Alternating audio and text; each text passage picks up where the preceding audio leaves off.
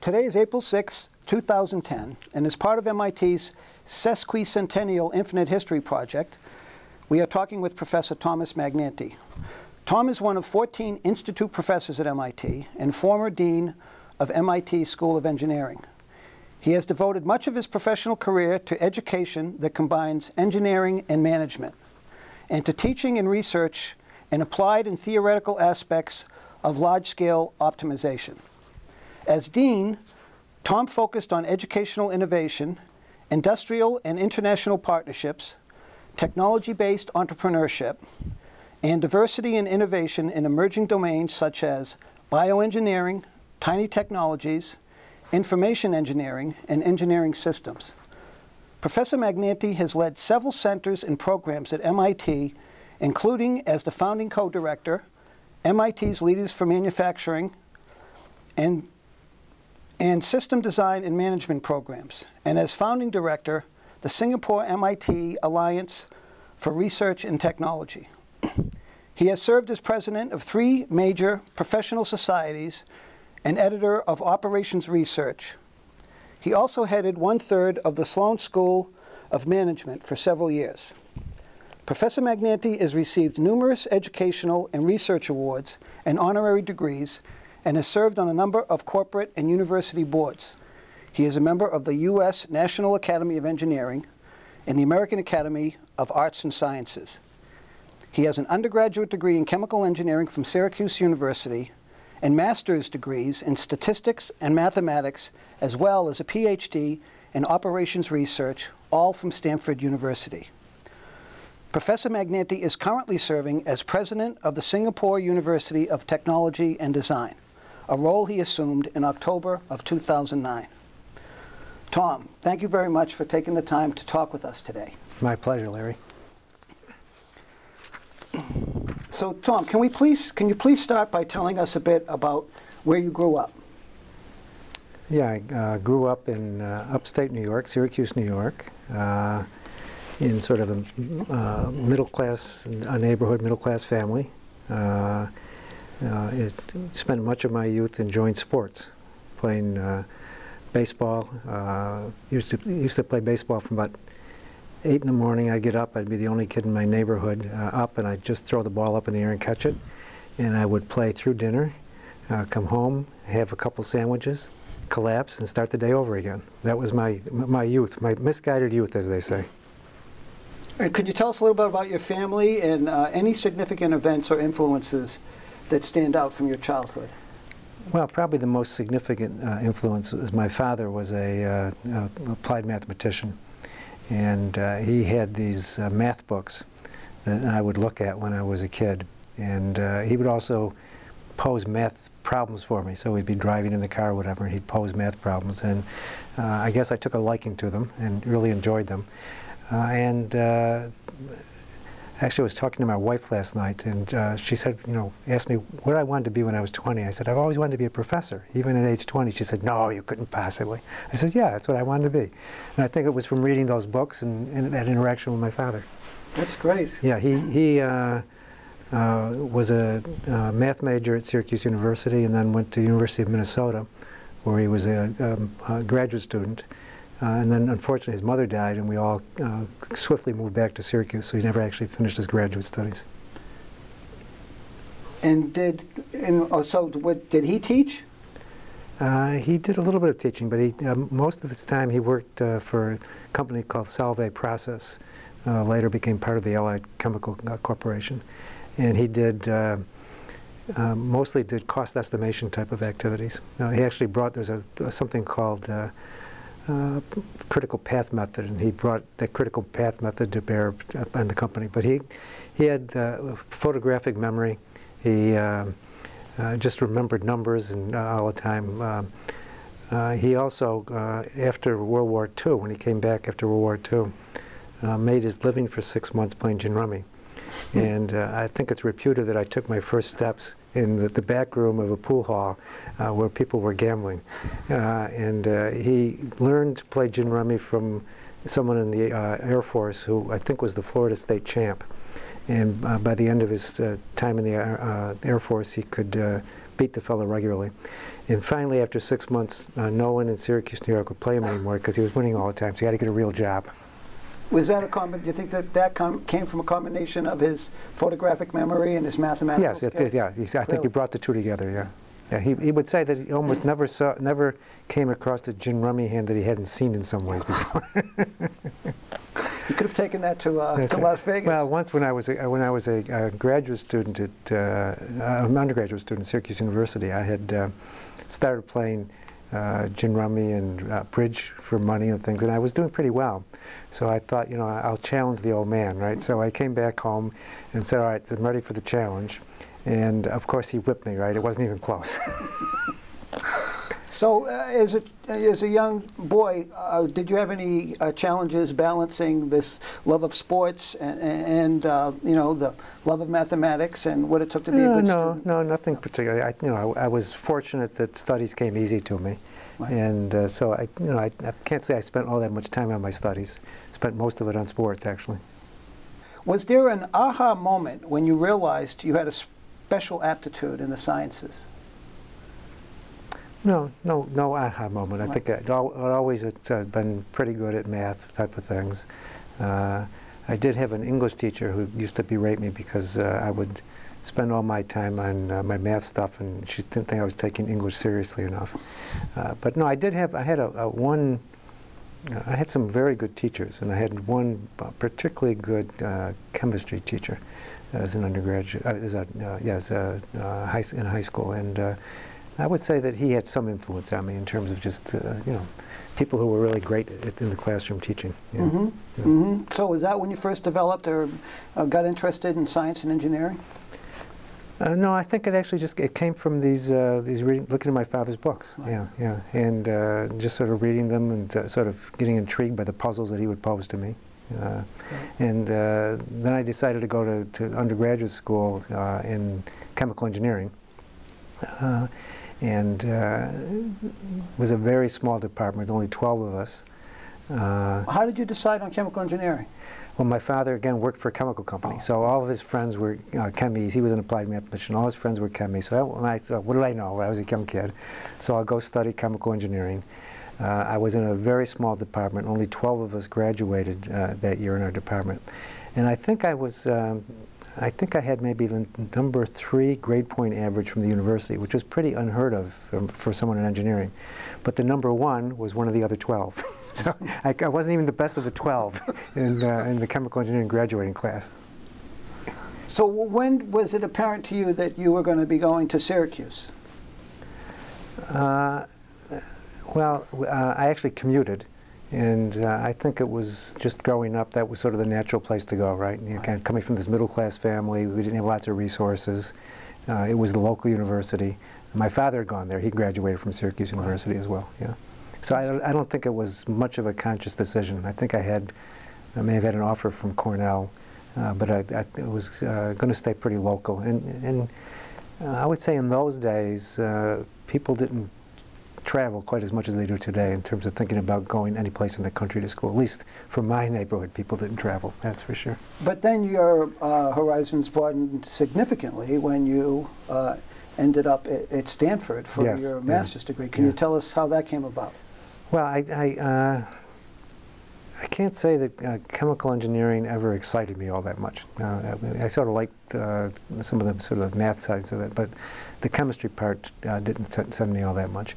And when I was, uh, I think I might have been a junior in, uh, at Syracuse, uh, one of my professors gave me, um, was a reading course, a book to read, and it was on uh, something called linear programming, which is sort of the core area of operations research.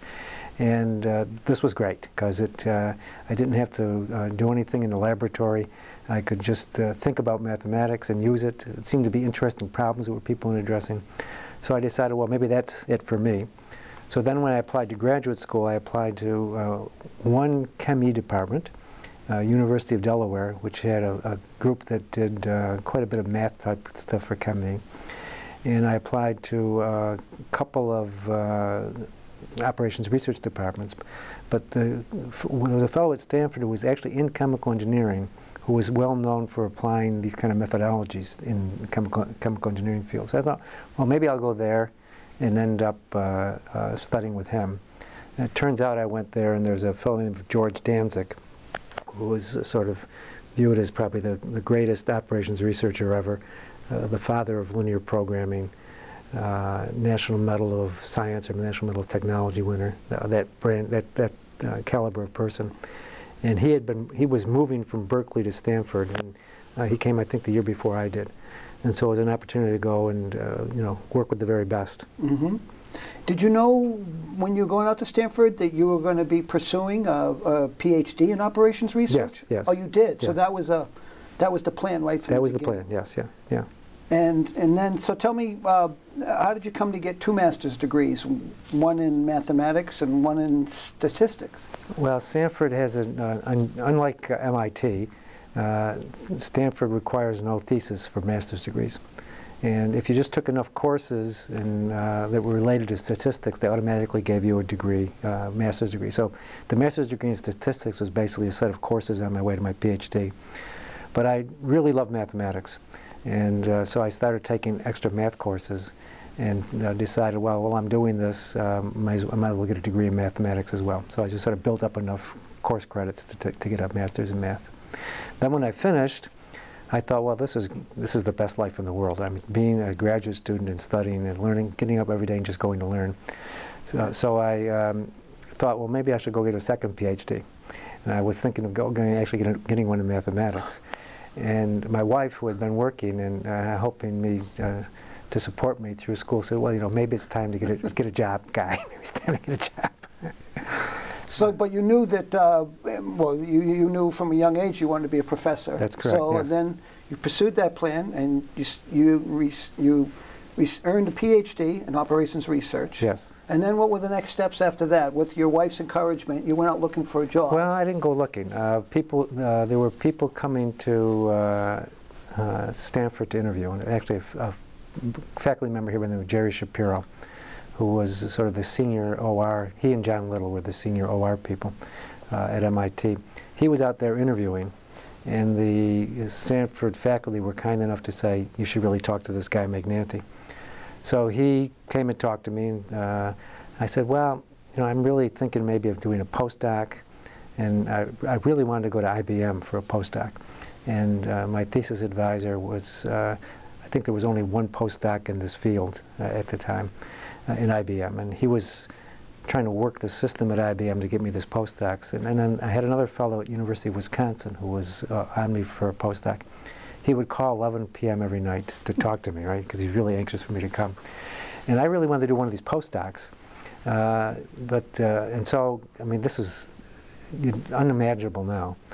So I wasn't interviewing for jobs at all. But uh, this fellow from MIT had come and uh, he said, come on back east and send a couple days with us an interview. So I come back and I interview.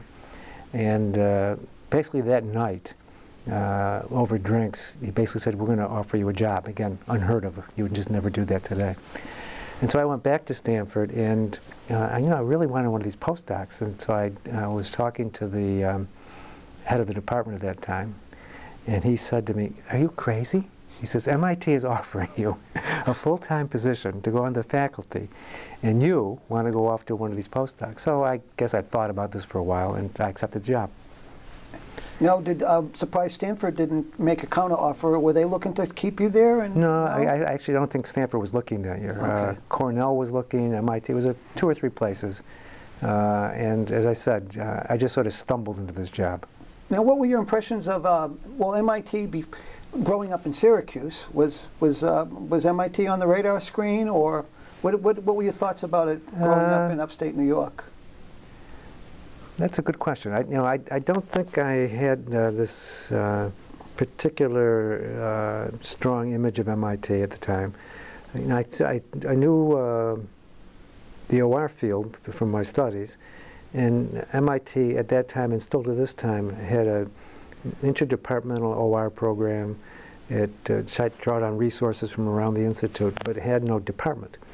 And I was more inclined for department. So I, it's p- quite possible if Cornell had made me an offer, I might have gone to the Cornell de- department. So I was really focused on OR, I would say, not necessarily on uh, engineering per se. And of course, when I came to MIT, I came to the Sloan School. So this was sort of an odd thing as well. I, I, my thesis at uh, Stanford was in a very, very abstract uh, area of mathematics, something called matroids, which uh, was just math for math's sake. It had no application. Uh, and here was a management school hiring someone. This, and uh, one of the faculty colleagues used to call me Mr. Matroids when I came to the faculty. Uh, and again, these days it would be very difficult, I think, for someone to join any business school with uh, such a background. So it was a, it was a very different time. And MIT uh, has uh, your department head at Stanford to thank for, uh, for you coming here. Uh, yeah, in some measure, yeah, yeah yes, well, well, Yes, no, uh, yes, to some measure. In Yeah. terms of, in terms of that advice. In terms of that, right, Exactly. it, was, it was it was remarkably sage advice. That's for sure. Yeah. So, so what were your first impressions uh, uh, coming to MIT? Uh, the, the students, uh, the culture, the environment. Well, one of my first early impressions was uh, I was here. Uh, I think my uh, family had not arrived yet, and uh, it was about 11 o'clock on an evening night, and I was uh, walking uh, down Mass Ave, and I'd just come from Stanford. First of all, I was from Syracuse, New York, you know, a rather small city, and then gone to Stanford, the farm, which is pretty quiet at night. Uh, and here I was, 11 o'clock at night, with cars bustling and people walking around. And say, boy, this is a really different environment. So it was really a different environment in that sense. Uh, and uh, it was pretty exciting. Uh, I mean, I think as it always is for young people. So I, you know, go into the classroom and have a sense that, you know, everyone in there is going to be a genius, right? And here I'm going to be standing in front of all these geniuses. What am I going to do, right? Uh, so MIT could be pretty inhibiting, I think, uh, at that time. And these were the days when um, you know, people had slide rules, uh, the very limited computing power. Uh, so it was a very different time in that sense. But you know, it was extraordinarily exciting to come to the place. And then in terms of, in terms of the culture, uh, in terms of what you had been accustomed to at Stanford, and now you're interacting with students. You didn't Yes. come here as a student, but you Yeah. came here as a faculty member. Right, right. What did you think of, uh, in terms of whatever stereotypes you had um, in advance, or whatever preconceived notions you had about MIT? Yeah. Well, the, uh, what I've always said is one of the big transitions that students make is you go to the other side of the desk, right? So you, instead of being sitting in front of the professor, you're on the other side of the desk. Um, no, the uh, my first year here was very quiet. I just recall sort of sitting in my office doing my work. No one bothered me. I didn't bother anybody. But also, uh, uh, I've always viewed MIT as a, a very, very, very friendly place, but not necessarily very social place in the sense of, and, and uh, I think it's gotten more social over the years. But sort of people left you alone, let you do your work, and I was uh, uh, the only, I think the only junior faculty member hired that year. You uh, were also certainly in that area. young. And I was, yeah, I was quite young. Yeah, yeah. So I just, uh, I just sat in my office, did my work, taught my courses. Probably didn't interact with much of anybody. And then it was my second year where I started, I think, get a little bit more rhythm of interacting with the community uh, more. Uh, and uh, in those early years, I spent a lot, a lot of time with the students, a lot of time with them, which was, was about as much fun as you can imagine. Yeah. And of course, uh, my first student was, uh, uh, first of all, the students, some of the students were older than I was, and many of them looked older than I was. I actually looked very young at that time. I had there's early pictures of me, my hair down to my uh, to my shoulder. You know, there was this hippie coming from the West Coast to join the faculty.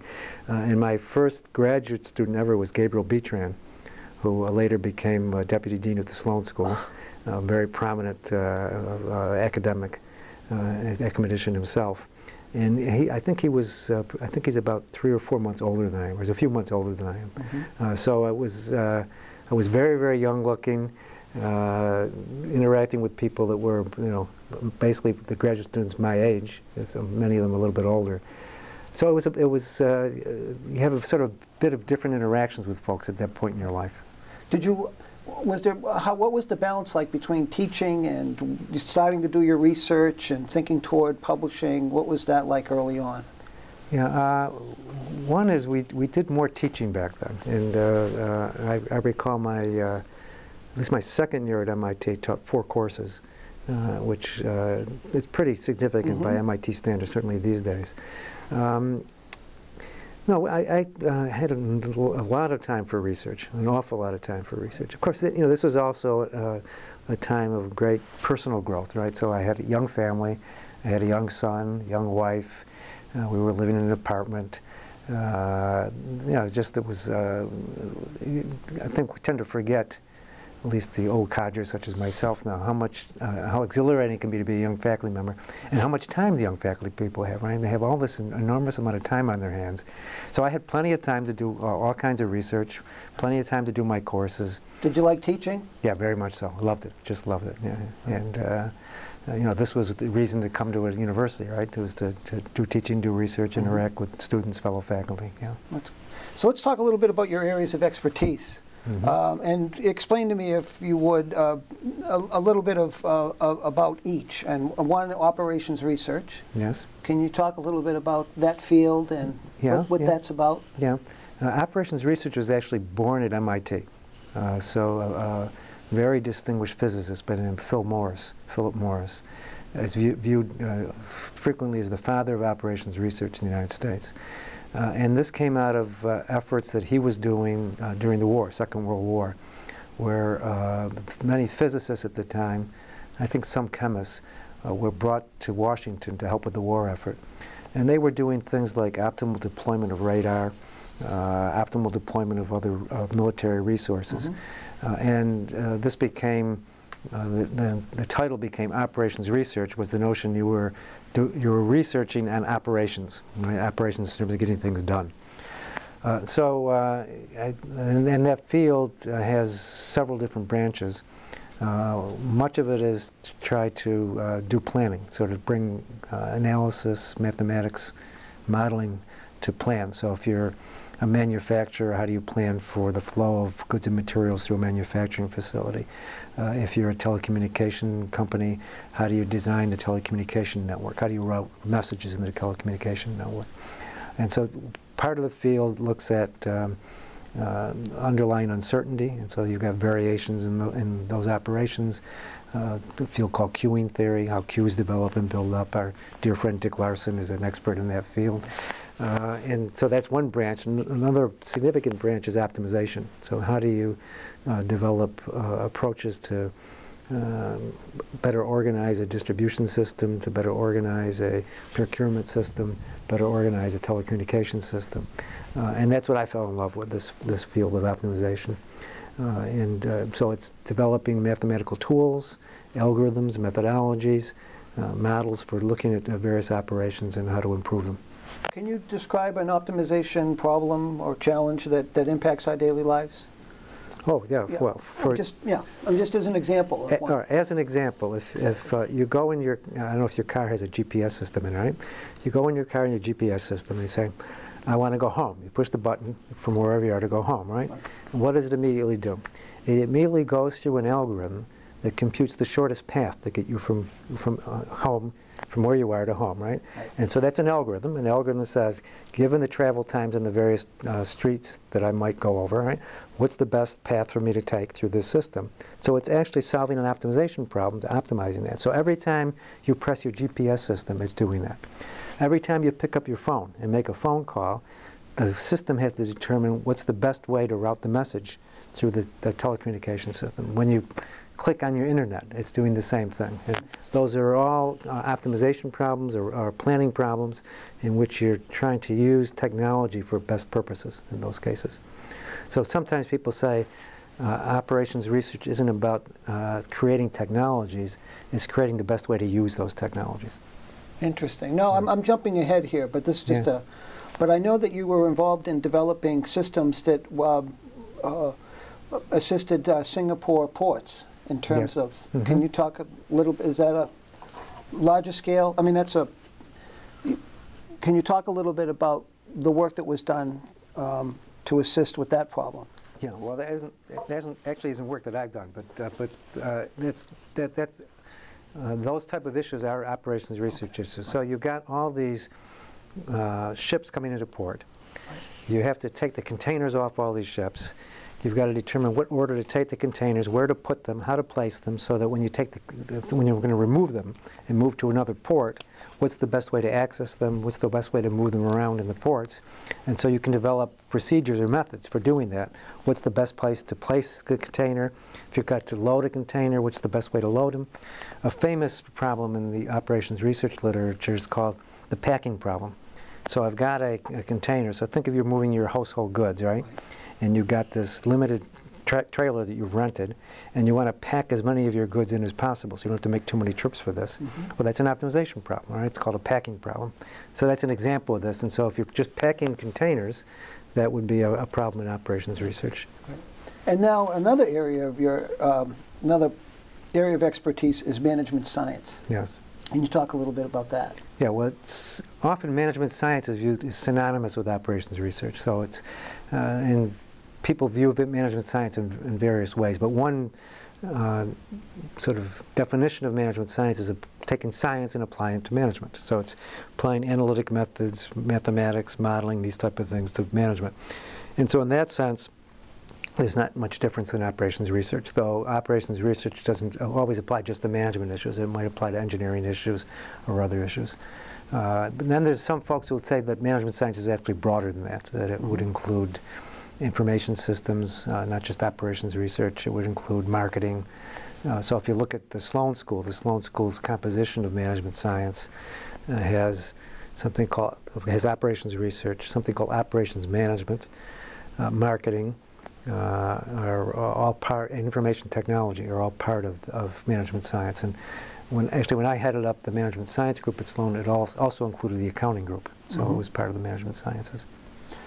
So you're, you are considered a pioneer in the field of education by your efforts to combine engineering with management. Uh, why was this kind of change so necessary? Well, I think histor historically uh, there was this divide between uh, those who created the technology and those who managed the technologies. And uh, historically, engineers and engineering educators didn't talk to management educators. Uh, and just as you find stovepiping in industry, you find stovepiping at universities. Mm -hmm. Uh, MIT was a little bit of an exception to that in the sense that there was uh, more fluid boundaries between the schools.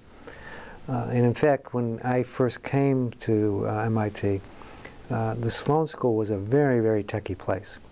Uh, and it's hard for people to, to really uh, comprehend this now, but the basic um, information technology course at the Sloan School at that time uh, actually taught something called machine language. Right? So this was the language for, as you well know, the underlying bit language, right, or, or well, close to the bit language, right, for programming computers. Mm -hmm. uh, in my own field of operations research, it actually taught the mathematical algorithms uh, for solving some of these planning problems.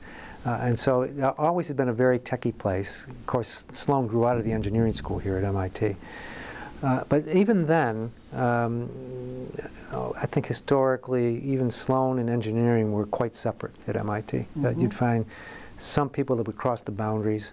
Uh, sort of early on, I would say the operations research people crossed the boundaries between Sloan and engineering, and the economics faculty crossed the boundaries between Sloan and economics at MIT. So you saw these, these boundaries.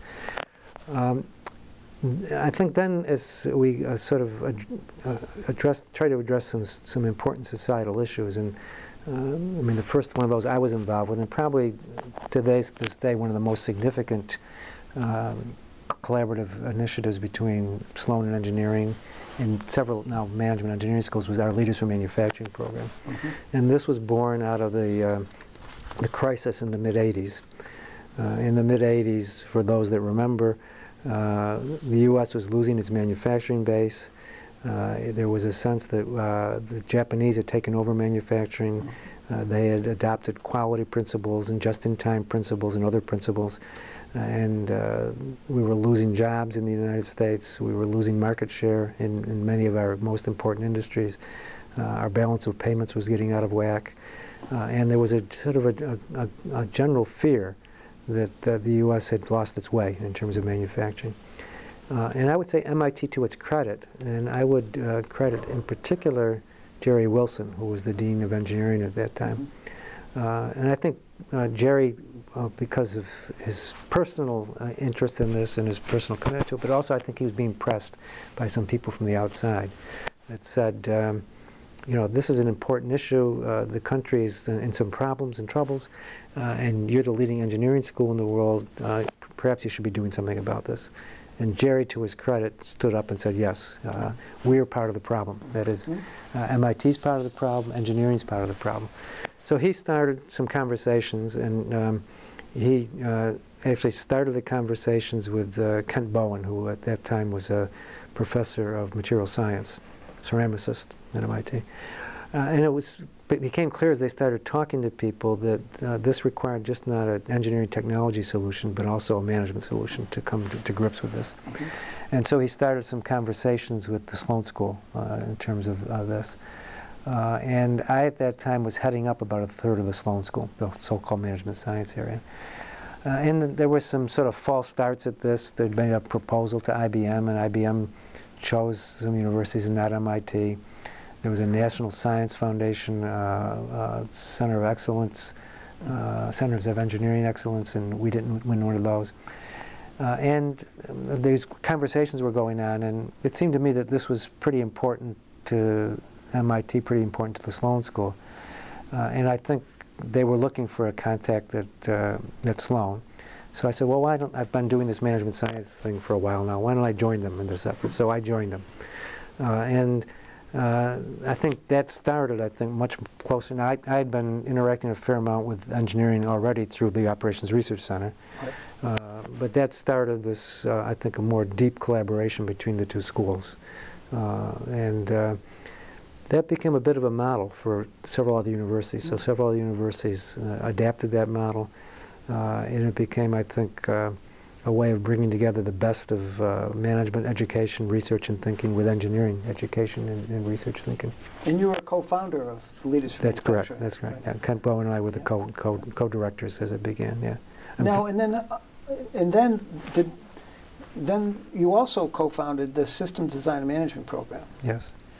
How did that grow out of this work? Uh, how were they connected? Different? No, no. Uh, well, they're clearly related.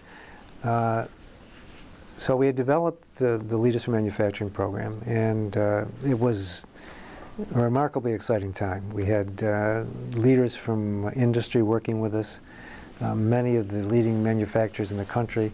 So they're VPs for, uh, for manufacturing, sometimes engineering were working with us, uh, and um, some of the second level executives were working with us. Uh, and we had developed the program, and uh, we had gotten into about the fourth or fifth year for the program. And it struck me that it was uh, moving along quite well. I was actually very proud of it and very proud of what we'd done. But, uh, you know, uh, my own sense is every few years it's good to do something different. So I said, well, it's probably best. And I think it's also best that these programs don't become identified with a single person. I think uh, they should become institutionalized rather than personalized. So I said, it's probably best that I move on and do something else mm -hmm. and uh, have someone else take the reins for this program. So uh, then, uh, when I stepped aside, um, there had been some interest in developing uh, something in the systems area. Uh, and I'm trying to recall now, I think it might have been, well, Joel Moses was clearly very interested in this.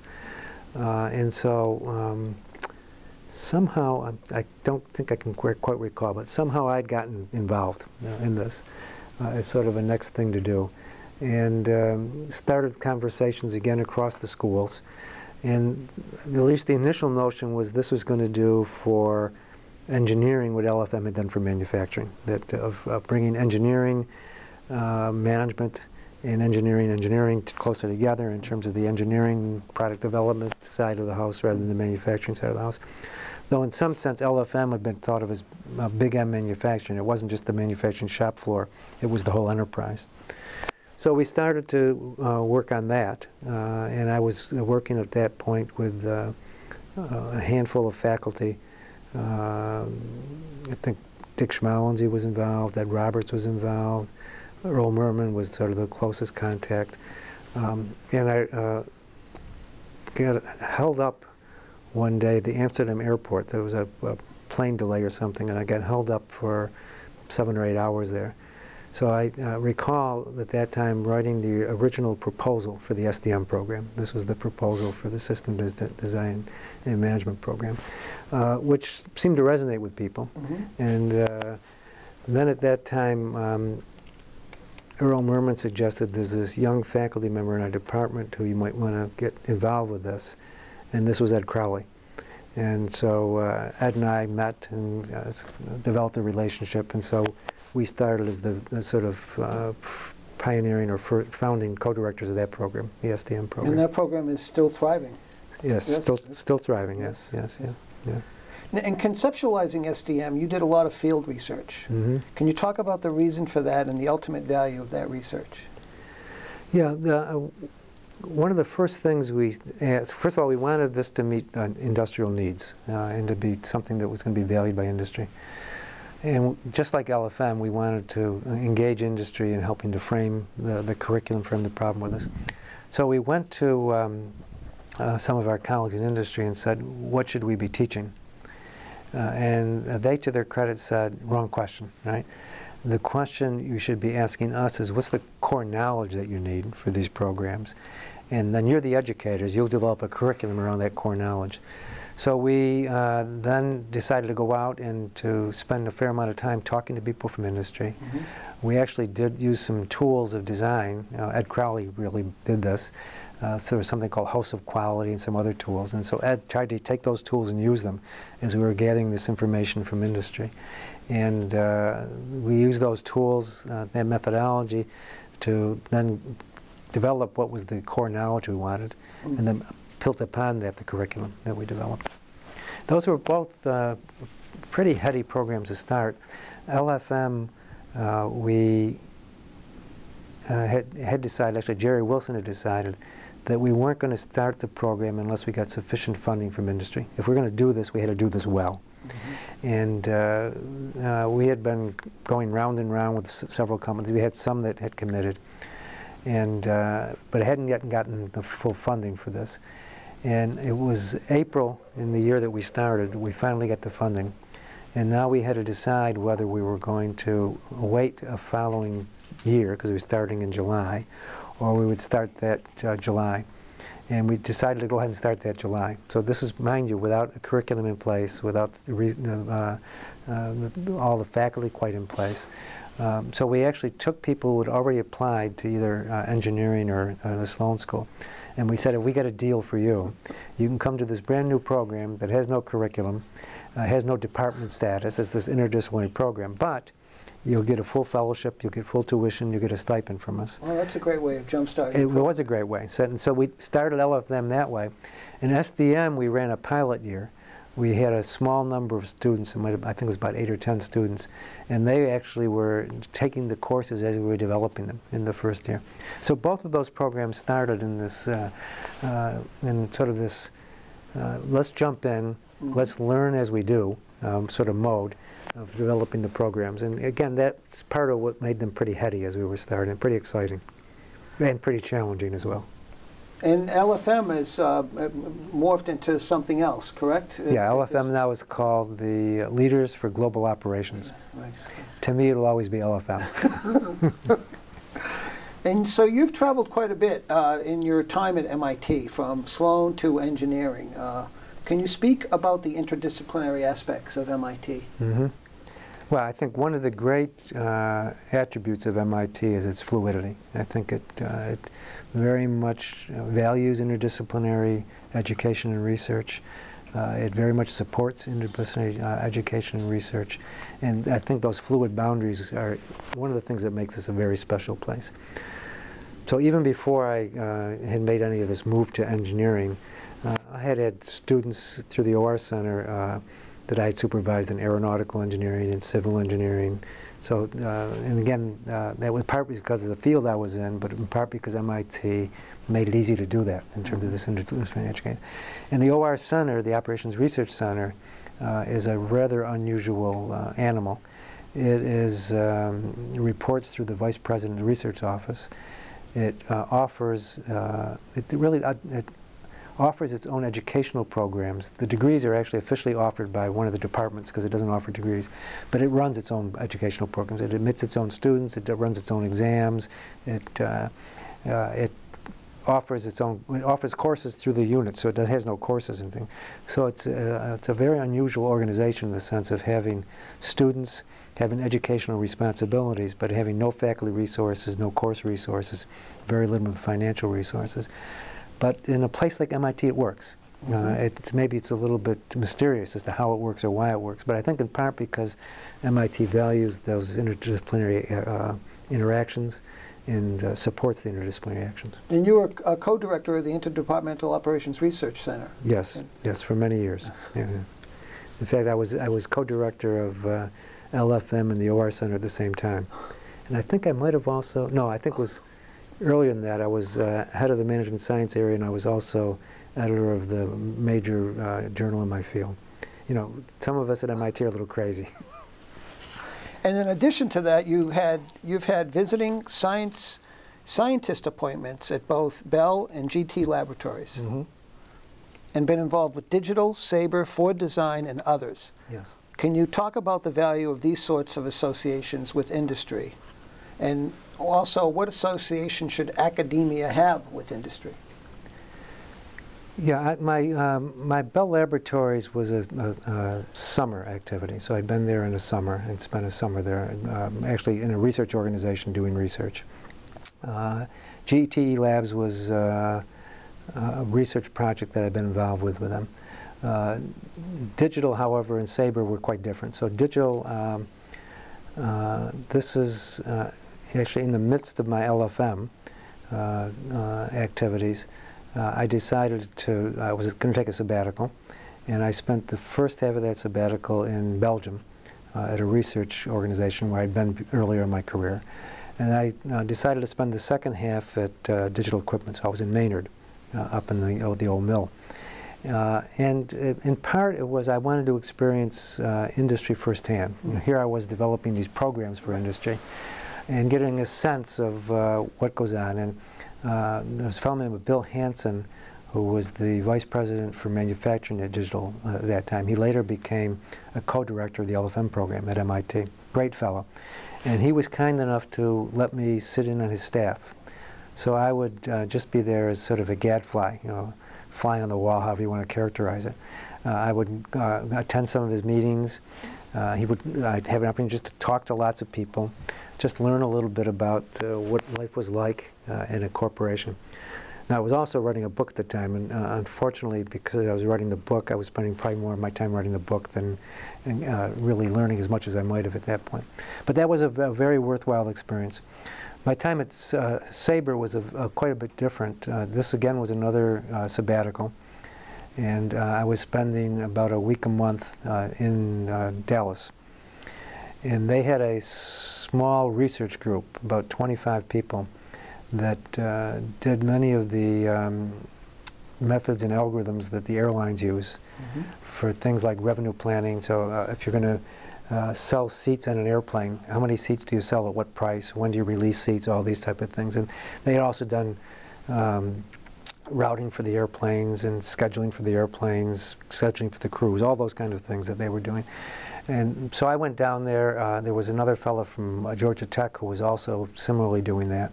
Uh, and it was, uh, in some ways, I mean, there were some very senior people there, but there were some younger people. It was like you have a, a large group of graduate students in some ways, so you, again, got to interact with them. So I got to see, again, some industrial problems through that setting. Uh, but it wasn't quite, it was at a, uh, a small research R&D group, so it was a little different than sitting in the manufacturing. But again, opened up my eyes to, uh, to industry and what industry was doing. And for me, it's been very valuable to bringing that back to, sure. back into the classroom and bringing that back into the programs. The GTE one actually uh, developed into, I've had uh, several students since then do internships there. Uh, and they brought back very interesting problems that we've used for theses uh, and uh, developed theses. One, one student came back and uh, had this uh, thought of an idea, something to do, and uh, my original uh, reaction was, "This is too hard. We can't do this problem. Just it's just too hard." And uh, he persisted, and he actually wrote a thesis on it. We ended up writing several papers in that arena. So these, uh, you know, being motivated by and stimulated by industrial problems or real world problems, I think, is again uh, part of the overall gestalt of uh, MIT in terms of its its mens and manus, bringing the world into MIT and MIT into the world. That was I was gonna that was gonna be my follow up question. Yeah. In terms of your own research, uh, what do you personally think have been the most interesting discoveries that you've made? Oh, interesting discoveries. Um, uh, interesting discoveries. Well, I, you know, I um, uh, actually I think the most important thing that I've done uh, is uh, I've written a couple of books, uh, and uh, one book in particular, a second book, uh, has become sort of the major textbook in that area, and. So the fact that uh, this is working with Jim Orlin in our faculty and a, a, another fellow from currently the University of Florida, Ravi Ahuja, uh, it's sort of become the, uh, the standard textbook, graduate textbook in this arena. And uh, it, in some ways, synthesizes uh, about a 30-year, 40-year literature, brings it together in a way that I think uh, uh makes it uh, comprehensive to everybody. Uh, it's pretty easily accessible. and that, I think that probably book has had the most impact of anything I've done in terms of my research. In terms of my research, you know, I've done some, some various things on theory, uh, some just out and out theory for theory's sake, which is always good fun and uh, hopefully is of some value to something. But much of my research has been motivated by real problems. So I tend to do theory on real problems. And uh, probably the things that might be most known or uh, best known are some things I've done on designing networks. So uh, if, if, you're a, a telecom company or if you're a manufacturing company, you have to design a supply chain network, how do you go about designing the networks? Uh, so for example, in uh, telecommunications, uh, if uh, typically what you want to do is you want to send messages from point A to point B. You're a, tele you're a telecom company. Where do you put the links in in the, in the network? Uh, how do you route over those links? If you're putting in uh, devices such as multiplexers or concentrators, things that take messages and compress them or propagate them, where do you put those devices? And so we've done quite a bit of work on uh, developing methods for doing that. Mm -hmm. Now, when you say we, I mean this is work that you've done. This is we being me and my students. Yeah, yeah my students yeah, and I. Yeah, yeah. I, I, I've done most of my, almost all, you know, almost all of my work has been done collaboratively with my students. Yeah, I mean I've done a few things just a very few things with faculty colleagues, uh, but most of it's been with my students. Yeah. Well, my next question was going to be, how do you feel you have changed or impacted the field? And you just did uh, uh, answer that in part. Yeah. But certainly the textbook must be something you're very proud of. That how long has that been used, and does it continue to be used? And yeah, we, I continue to get these small royalty checks. Right? Uh, yeah, it continues to be used. Uh, it's uh, I think it's probably now about 15 years old, something of that order. Um, yeah, I think, you know, the, what, are, what are we most proud of? I, I often say I'm, I'm, most proud of my students, right? I mean, you, you, bring, you have these incredible young people that come, they work with you, uh, then they go off and do uh, great things for the world, right? And uh, along the way, we influence them some, right? We hopefully help them grow both personally and professionally. Uh, and uh, we have a great time uh, doing research with them. and I, I, seem to have and maybe it's in my genes. I seem to populate uh, Dean's type of people, right? So yes. I've had a, uh, one of my uh, uh students, Gabriel Bitran, as I mentioned before, has become was a deputy dean at Sloan. Jan Hammond is a senior de uh, uh, deputy dean at Harvard Business School. I've had one who I think is still an associate dean at um, University of Texas. One was an associate dean at the University of Pittsburgh. Uh, I, I, seem to grow these, uh, maybe it's these uh, administrative instincts that I have in some ways, but you know, pollute them, right? That is, that is a great accomplishment. Yeah. Um, I wanted to just step back a little bit and talk about engineering systems again. Yes. In delivering the prestigious Brunel Lecture, you cited the 20 greatest engineering achievements of the 20th century.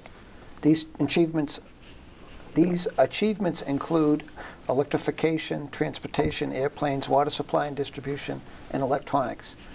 How would you characterize the role of engineering systems in these achievements? And as a follow-up, how did MIT contribute to those achievements? Mm-hmm. Well, if you look at the, again, this was the, um, the National Academy of Engineering at the turn of the century decided to, to uh, identify these 20 greatest achievements of the last century. And uh, it was a very elaborate process. Uh, Chuck Vest, our president at the time, was involved in this process. And the striking thing to me when I looked at that list, and this is what I discussed in the Brunel lecture, was um, most of them were large-scale technical systems. I mean, electrification is a system. The highways is a system. The internet is a system, right? These are all very complicated technical systems. And um, in that sense, uh, they provide great opportunities and great challenges for MIT and other places. Uh, how do you diagnose such a system? How do you design such a system? How do you manage such a system? How do you improve such a system? Now, uh, I wouldn't say that MIT has been involved in the systems aspect of all those. And in fact, those systems evolved over time, often I would say in a rather ad hoc fashion. And if you think of electrification, right, uh, you had uh, uh, people like Westinghouse and Edison and other developing, you know, uses for this in the systems in terms of, uh, and over time they grew, right? You can say the same thing for the telephone system, right? So Alexander Graham Bell had this idea and eventually this, sort of these systems grew. But they, they didn't grow out of any uh, necessarily planned effort in, that, in that sense or planned activity. It was sort of organic, generic growth, if you will. And I think what we try to do through engineering systems, and I think what MIT and other universities are trying to do now is many of the most challenging problems that face society these days are also engineering systems. Think of the environment, energy. Uh, there's clearly technology components of this, but there's also how those technologies uh, are deployed and managed in a system where the system has both technical challenges as well as political and social challenges involved with them. And that's what MIT is trying to do in this arena of engineering systems, is develop the wherewithal for doing that. Now, I tend to view myself as an engineering systems guy in the sense of I look at networks and look at these systems and stuff. But my own work has tended to be sort of the mathematical modeling of these, where I think engineering systems more broadly, would, that would be one component of it but it would also how you architect those systems, uh, how do you think about the, uh, the political landscape, the social landscape, and the like. So I, I, I, wouldn't point to MIT as contributing to the system aspects of those, uh, though I would point to it now as trying to address those systems and trying to improve them, right, in terms of providing the wherewithal to improve them. So, and as a follow-up, what do you see as the big challenges ahead in engineering and management in the 21st century? And what are the opportunities for today's young people? in terms of uh, uh, assisting in meeting those challenges? Well, I think the, the major challenges facing society are, are pretty, uh, I think, obvious to all of us, right? So it's healthcare and the healthcare system, it's energy and the environment in, that, in terms of that system. Um, and there's this sort of continuing role of, uh, of technology to improve our lives, aid our lives in a variety of ways. And you know, if you think about where we are today versus where we are 100 years ago, I, I used to use the following little exercise when I gave talks about uh, engineering. Uh, let's go back to those 20 greatest accomplishments of last century. And let's just suppose it's 1900, so we haven't had any of those yet. And uh, you wake up in the morning, there's no electrification, there's no highway system, there's no telephone, uh, there's no internet, there's no uh, water purification, uh, et cetera, et. There's no household appliances, all these great achievements. So we wake up in the morning, uh, we eat our breakfast, we go to work, we come, I tell people close their eyes and imagine this, right? We come back home at night, you know, there's no electricity for reading books and stuff. We get out the candles or the kerosene lamps or whatever it was at that time. Uh, and now just imagine your life now compared to that, right? And uh, the entire fabric of society in terms of not only our level of comfort, but think of the industries that drive society, think of the political landscape of society, are all driven by those accomplishments of the last century. So in that sense, uh, uh, technology and engineering has had this pro profound, profound influence. And I tend to end that talk by saying, you know, I'm really not smart enough to say 100 years from now what that list is going to look like. But I am smart enough to say there'll be a list, and it'll be equally as impressive. And I think that's what we see as the year ahead. And again, I think healthcare, energy, the environment, and 20, 30 years from now, it may be some other issue, right? That'll be that. Uh, but you know, someone's going to come along with some great idea, and it's going to affect us in the same way that those great ideas have affected us. I'm, I'm, i think back to uh, the, your involvement, my involvement in the Lemelson program, yes. where uh, uh, there was an effort to try to convince young people that there were still many, many things to invent, that mm -hmm. they all hadn't been invented. Yes, and, yes. And there's still great opportunities to solve these problems moving right, forward. Right, right. yeah. Uh, so in terms, of, I just wanted to touch, we talked a little bit about it, but publications. You, have authored a number of books and countless articles. Mm. Is publishing something you enjoy as much as research, or is it just a, a necessary byproduct? Um, I, I uh, very much like writing. In fact, uh, I'm not sure it's so writing. I like editing. So I, when I, I when I uh, was the editor of this journal for five years, this I was this was actually crazy. I edited every single paper. I mean, I copy edited every single paper, and I get a great charge out of copy editing. I, I, I try to be a very careful writer. Uh, so writing, I think, uh, in some ways, is uh, can be very painful. It's hard work to write well, right? Uh, on the other hand, I, I, think it's actually very important, and I, think it's an obligation of we, uh, of uh, us as academics to write. I mean, it's, it's one thing to have a great idea and to discuss it with 20 students or two students or whatever, but that doesn't move society along, right? Mm -hmm. What moves society along is the cumulative effort of all of us of sharing our knowledge and making that knowledge available to all of us. So one, I think that publication is, is essential. I think it's essential for progress. Uh, whether it has to be published in the way we can, uh, have done in the past in terms of the, the, journal publication or whether there's other mechanisms for doing this in the web and others. But I think actually publication is very important. Um, it's very hard work. Uh, and uh, I think particularly publishing uh, research papers is very hard work because you've got to write all this stuff down, get in a place that's comprehensible. And often when you're thinking up new ideas, it's hard to articulate it. And then you've got to go through uh, what we have as refereeing processes. So it goes through peer review and scrutiny, and it comes back, and they always say you've got to change this, and you've got to redo this and change that. Uh, but yet, it, in the end product typically is much better as a result of it. So it's, I think it's a very valuable process. It's very important. Um, I wouldn't say it's as much fun as doing the research. Uh, I think doing the research is really fun, right? And sort of sitting around and scratching your head and say, well, I don't know how to do that, and let's figure something out how to do that. I, I, still have a couple of students, and I was meeting with one this morning, and we're really puzzling over this issue, and uh, I keep telling them, come back next week, Matthew, and come on, you figure it out. You can do it, right? And we'll, you know, we'll spend an hour and toss around some ideas. Uh, but it's, uh, it's remarkable fun to do that. So in terms of this uh, ongoing uh, connection to students, is yes. it something that you've done all the way through? Is it, is it, is it, is that necessary? Is that connection um, uh, is, is still necessary and still very beneficial for you? Yeah, it's, it's very important to me, right? And uh, it, uh, in some ways, it keeps me sane, right? I mean, in terms of all this administration that I'm, uh, I have been doing, I'm doing.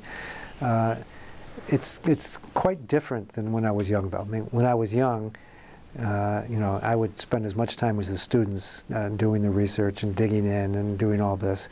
Now I, uh, you know, they're my eyes and ears, right? So they go out and they read the journals, they bring back the information, and so it's a different kind of process. But you know, hopefully you bring some wisdom and some experience to the table, which they don't bring. They bring the youth and enthusiasm. Yes. Well, and you also bring the thing that you like, that you also are very good at, and that's the editing. Yes, so that's, a very valuable that's contribution true. to that. Yeah. Uh, and finally, in terms of publication, is writing a textbook a factor more difficult than the, than, than the research articles that you talked about, or? Yeah, no, writing a textbook is enormous hard work, right? Um, I've actually got one sitting on my computer that I started to write the year before I was dean. So this is now 11 years ago, something, 10, 11 years ago. And the remarkable thing for this is I was teaching a course sort of the last full-fledged course that I taught all by myself. And I decided that uh, I didn't quite like any of the textbooks for it. And so I ended up, and I don't know how I did this, I ended up in one semester writing about, it about 250 pages of a textbook, right, in one semester. I don't, I, I just, I, to this day I can't figure out how I did it. So I think I wasn't sleeping.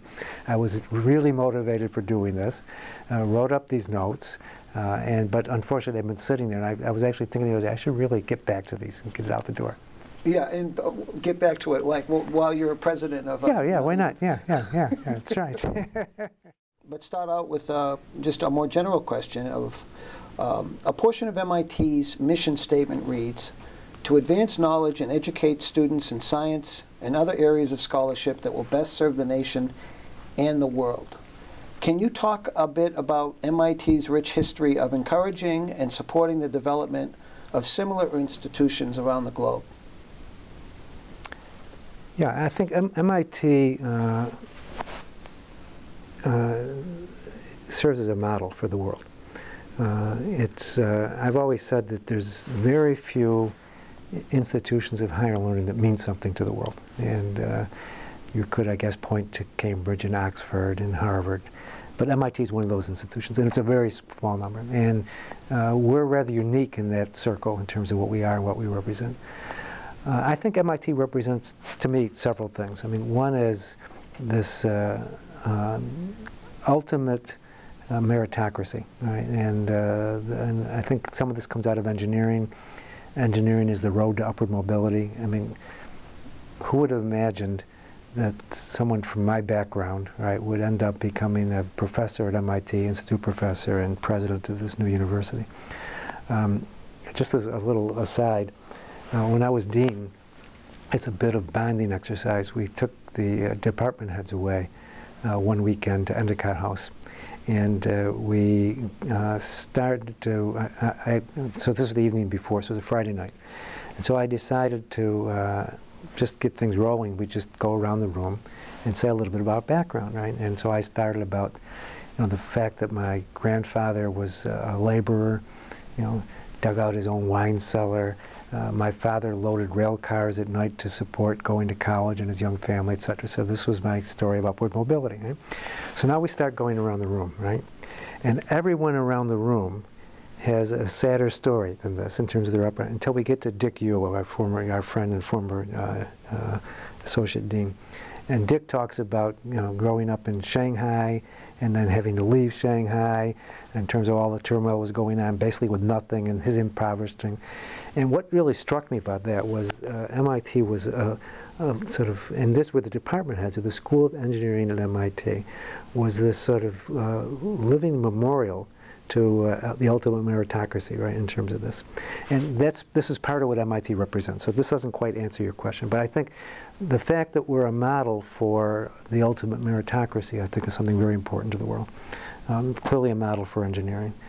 Uh, and we're also a model for the fact that, you know, I think what MIT strives to do is not just do good work, uh, but to do leading work, right, in terms of leading the nation, leading the world in what it does.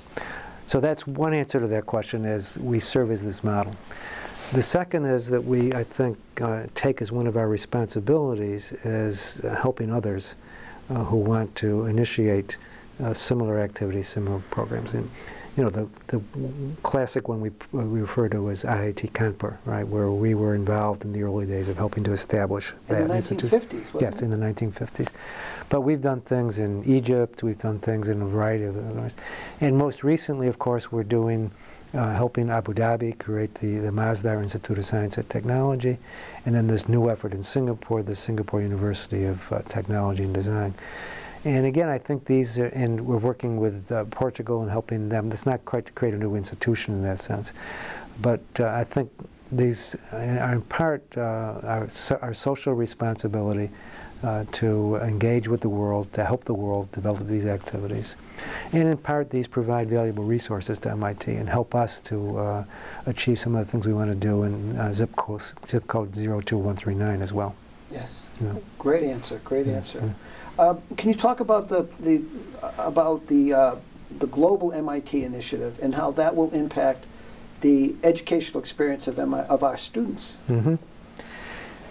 Yeah, it's. Uh, I think all of us think now that uh, uh, students, all of us, should have a, a, global perspective on the world. Markets have become globalized. Information has become globalized. Uh, Tom Friedman writes that the world is flat. I don't think it's quite flat. It's spiked, maybe in some ways, but it's certainly fluid in that sense. And so I think we have a, a, an obligation to uh, provide a certain global perspective to our students. Uh, and there's a wide variety of ways of doing that. There's a talk that I've given several times which is called uh, Globalization of the Residential University, which starts to talk about this issue. And there's many ways you can go about doing this. One is just uh, internationalizing the curriculum, so making sure there's international examples, international perspectives. Uh, one is to uh, provide an international community to bring together people from different cultures and different uh, aspects, different worldviews, if you will. Uh, a second is to provide students with opportunities to get out there and experience uh, the, the, the, world. And there's a wide variety of ways of doing that, whether, whether it's internships or not. Uh, so that, I think we have a responsibility for doing that. It's clear that uh, this has become something that's become increasingly important to MIT and almost all other universities. Now the question is how to do it. And uh, MIT uh, has the, the luxury of being a world-renowned brand name as do a few other places. And so we can do some things in the world that other places can't. The dream of most every place in the world is to have their own MIT, uh, is to have MIT plop down there, for us to plop down MIT there, uh, or for them to replicate MIT in one way or another. Um, MIT has decided it's not going to have foreign campuses in that sense. Um, that's a strategic choice MIT makes. It's a, it's a, um, something that interesting to reflect upon. You know, why is it that universities, almost all, have one campus, or if they're a state school, they have several campuses, but they're, they're localized. Why doesn't MIT have a campus in California, and a campus here, or a campus somewhere else? And you can say the same thing internationally. Uh, we start from uh, this as a local university, as a regional university, then we become maybe international, national, then international. Now we're striving to become global, right? Whatever that means. Uh, uh it's different from international. Um, I think one can imagine uh, in, a, in a future that uh, people could have multiple campuses in different locations of the same high quality. I think people are concerned about devaluating the brand name and devaluating the quality. Um, one startling example of this right now is INSEAD. INSEAD has, uh, INSEAD is a uh, business school that operates out of uh, France. Uh, they have two campuses, one in Fontainebleau and one in Singapore. They're essentially equal in terms of their, uh, their status now for INSEAD, equal in terms of students apply to INSEAD, not to one of the campuses, and then they get to choose after that what they do. I think they've shown that it works, that you can have two campuses uh, that are uh, equally valuable, and that gives them uh, regional input or uh, regional impact both in Europe and in, Asia in terms of Singapore and this. Uh, but I think the globalization means many different things, and for our students, it's uh, a set of experiences, uh, a set of uh, heightened awareness about the, the, the, global world. The fact that doing business in China is different than doing business in the United States, different than doing business in India. I think an interesting aspect of this for MIT is you know, engineering in China is not at all different than engineering at MIT. Science in China is not all that different than science in, or, or science in Soviet Union or Russia now, or however you want to think about it. And so what does it mean for a technology-based institution? Uh, it might mean something a little different than it does for others. You know, for the business school, it's clear it means different things. There's different business practices in different countries. There's different uh, regulations for business in different countries. Now, you can say that there's different regulations for IP, there's different regulations for bringing things to the marketplace, and those are, I think, um, provide some differences for the science and engineering schools. But for the science and engineering schools, it's just a matter of where you are and how you meet maybe local markets in some way. So it's a bit different, I think, for us.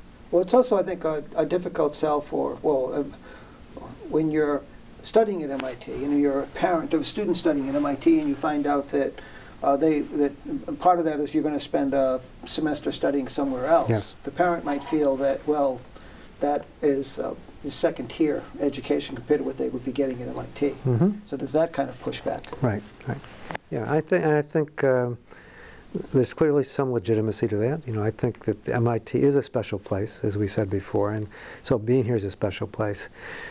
I guess the question you have to ask yourselves is, uh, how, how long do you have to uh, to sip the juice in order to really feel that you've gotten the MIT experience, the MIT knowledge. Uh, and uh, you know, do you have to be here eight semesters, or if you're here seven semesters, is that sufficient? And you, and there's a trade-off here in the sense that you maybe a little, you miss a little bit of MIT and what's special about uh, being in Cambridge, Massachusetts, but you gain something by being in a different location. Exactly. Yeah. I think the trade-offs would offset. Yes. And right. that's the direction that things are heading in. And Yes. You could argue that the student benefits from that time spent abroad. Um, We sure hope so. Um, and it's funny, MIT's also made a very deliberate decision, and just in terms of MIT, to uh, to keep its faculty at about a thousand when there's Yes. been a lot of pressures to to increase the, the, the size of the student population. Yeah. But it, it's a tender, it's a, a, a you know, a, um there's a balance there between resources and quality of the faculty and all that. That Yeah. Well, I, we, we could have a faculty, I don't know, 50% our size at the same quality, just as we could have a student population 50% our size at the same quality. When I was dean, I argued for increasing the faculty size, and I couldn't convince uh, others in the administration that this was the right thing to do. But if you think about uh, the pressing problems of, the, of society, of the world, many of them are, are problems that MIT can address and can contribute to. And by having more faculty uh, and more students, uh, we have the opportunity of doing that. I guess in uh, the relevant question is, can you do that while maintaining the culture of the place and the quality of the place? And I think you can. Uh, it, but it also has clearly implications in terms of facilities, and uh, we're, we're bound uh, here in terms of being an urban university. Well, this is a great uh, segue into my next question, and that is that this past October you were appointed president of the Singapore University of Technology and Design. Uh, what are the opportunities and objectives associated with this exciting new challenge Mhm. for yourself and for the university? Yeah. Well, y- yeah, I, I think uh, one could uh, argue that uh, if you're an academic and if you've been around forever like I have, what's the most exciting thing you could do, right? And uh, pr- among those, other than uh, playing left field for the Boston Red Sox, uh, which would be pretty exciting, uh, uh, other than those, I think it would be starting a new university, right? And starting a new university that's modeled after MIT. Yeah, and I, I often refer to the Singapore University of Technology and Design as uh, MIT within, sort of borrowing from Intel.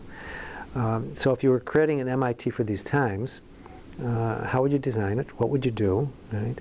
Uh, and that's what's particularly exciting about this for me personally. Right? And I think it's particularly exciting for many of our colleagues in the administration of MIT. This is an opportunity of uh, experimenting, of doing some new things, uh, of hopefully creating something of enormous value. Uh, if by any measure we could wake up 50 years from now and this thing, or 20 years from now, whatever the number is, and this uh, has, in any sense, replicates MIT, I think we'd all be pretty happy. And so that's what, uh, why I think one might want to do something like this. And we're developing a, um, an approach to education that's uh, in some ways built upon the MIT DNA and genes, but is in many ways different. Uh, and so it's going to have no traditional degrees, not going to have a mechanical engineering degree or an electrical engineering degree. It's going to be taught in a way in which we're going to have more learning communities type of activities, use modern technology platforms and these type of things to, to educate. And so it's, uh, you know, again, uh, if one had a life stream, it would be, can I, could I recreate MIT, right? And we have, a, we have an opportunity of trying to do that. That's great. And Yeah. and in terms of the uh, the approach that you're considering, uh, that is that I understand that the university is exploring, uh, and you just referenced it, doing away with traditional academic departments and organizing the university according to technology and science clusters instead, to support the interdisciplinary nature of its programs and encourage collaboration across disciplines. How has this approach been influenced by your work at MIT? Um, well, first of all, you've done your homework. I'm pretty, quite impressed. Uh, well, again, MIT uh, has it's imbued with this interdisciplinary culture, this interdisciplinary uh, act, uh, activity. Um, on the other hand, it's sort of captured by its legacies, right? As any institution is, right? And it's uh, captured by the uh, evolution of higher education in the United States. Uh, and higher, higher, higher education in the United States has uh, evolved in terms of uh, schools, well-defined schools, well-defined departments, well-defined degrees. Um, you know, as we uh, as we understood science and uh, captured science, then we developed technologies that use that science, and that became our departments. And so we start with civil engineering, et cetera, et cetera, et cetera.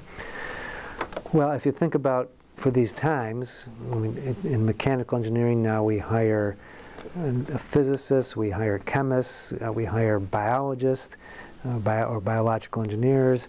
Uh, this becomes such a mixture of activities. So one, as we just as we start to design the university, we recognize what's happening to MIT. Well, maybe not happening structurally in terms of the organization of the place in the, quite the same way, but it's hap happening organically in terms of the, the, the, the growth of the place. And so you find people with all kinds of backgrounds dispersed around the departments. And at least when I was dean, you could hardly tell which department someone should go in when we were hiring many of the people you were hiring, because they could go in multiple departments. And we're going to start, the, the uh, SUTD is going to be a small place as we start. Um, it's, going to be about MIT size, eventually about 4,000 undergraduates. So we have an opportunity of uh, starting with a more fluid structure, uh, not being hostage to the legacies, if you will. Uh, not that MIT is, but we were, you're, you're, you're captured by those legacies, I would say. Uh, so we're going to start with no schools, no departments, uh, no deans, uh, these terrible deans, right, you know, get in the way of things. Um, now, of course, we'll wake up 20 years from now and I'll bet there'll be more structure to this place, right? But we'll start with this very interdisciplinary uh, structure, uh, of an opportunity, I think, of uh, mixing and matching in, in unusual ways. Uh, and I think that'll give us, at least as a start, of, uh, of imbuing the place with this interdisciplinary uh, structure and uh, flavor of spirit of cooperation uh, within the people and among the people, which MIT fortunately has already, but I think if we started the university with traditional structures, it would be harder to replicate MIT. And this is, this is, you could say in a very positive way, this is a way of replicating MIT, acknowledging that MIT has uh, a certain culture that's uh, hard to develop in a, in a, traditional organizational structure.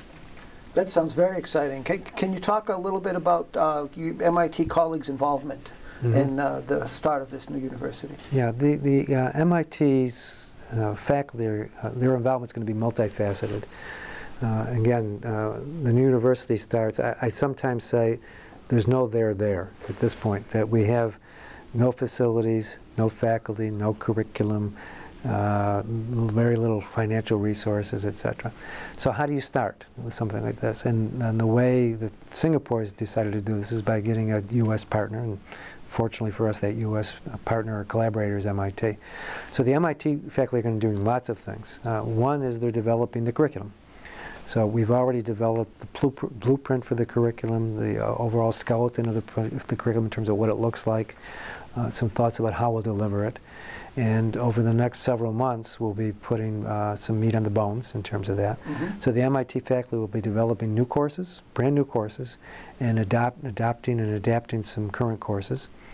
Uh, it will be helping to uh, attract faculty uh, uh, for the new place.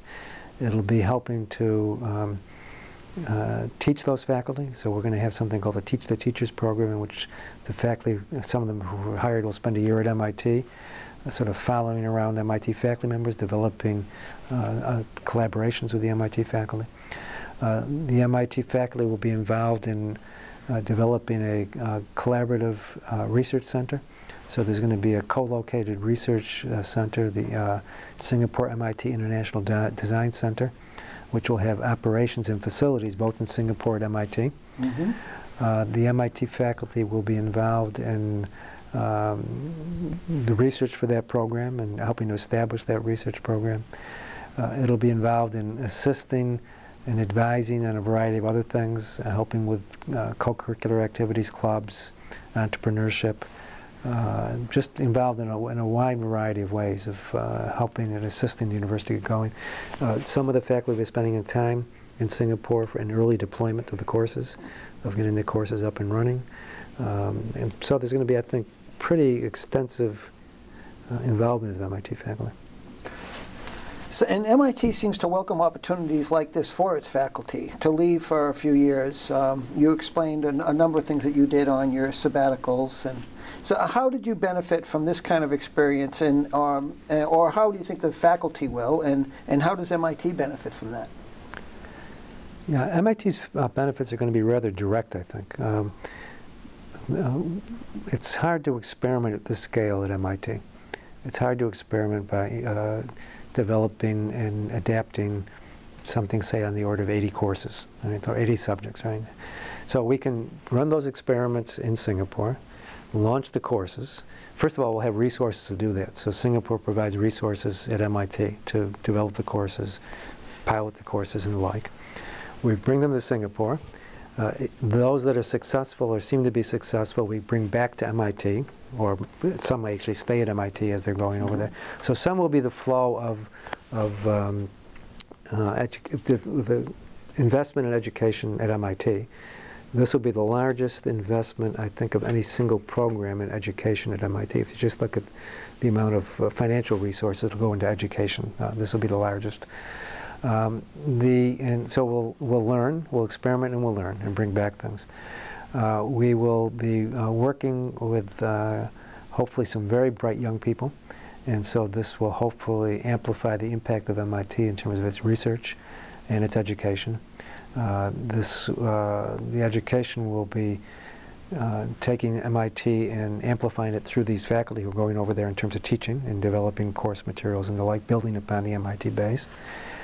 Um, and so I think there's going to be, um, and we're also providing some opportunities for some students to get out involved. There'll be student exchanges, which will be uh, helpful in terms of that globalization that we talked right. about before. So students here will be attending Yes, there'll be some students here attending uh, activities or participating activities. There'll be uh, international contests. Uh, the uh, Singapore University is also going to have a Chinese collaborator, Zhejiang University. Mm -hmm. So this will be an opportunity to link up MIT with Singapore and China in terms of, say, international contests for the students, uh, projects, international projects for the students. So there's going to be a rich array of activities for, uh, for the students and for the faculty. It's great. Yeah. And uh, you referenced this earlier, but um, the MIT culture seems to facilitate MIT faculty reinventing themselves throughout their careers here. Uh, your first teaching assignment at MIT was in the Sloan School, and then you went on to become Dean of the School of Engineering. What does that say about you, and what does that say about MIT? Well, I think it says a lot about MIT. We, I, we'll get back to what it says about me, but I think um, I sometimes say MIT is the only place in the world that would possibly pluck someone from the School of Management and make him or her dean, right, of engineering. Uh, um, you know, what it says about me is that uh, I, I uh, have crossed the boundaries between these two schools over the years. I've worked with both schools, uh, developed an, an, understanding and a uh, sense of comfort in terms of both schools. Uh, that I, that, you know, my work is, even though I've been in the management school, has been pretty engineering-like, I would say, in some ways. And so it was, um, in some ways, an unnatural act for me to, to make that transition. In some ways, it was fairly natural in that sense. But it, I, I think it's, in many ways, the closest MIT has come uh, in a long time, or maybe ever, of taking someone external from the School of Engineering and making him or her dean. If you think of going to the Sloan School as external in that sense. Yes. Yeah, yeah. Huge. Well, it's, it's a great illustration of the interdisciplinary aspects of MIT's right. approach to education. Exactly. Yeah, I sometimes view myself as the example. so, and wh what did you see as the opportunities in becoming dean? Uh, what did what were you uh, what did you set out to do when you became dean of the School of Engineering?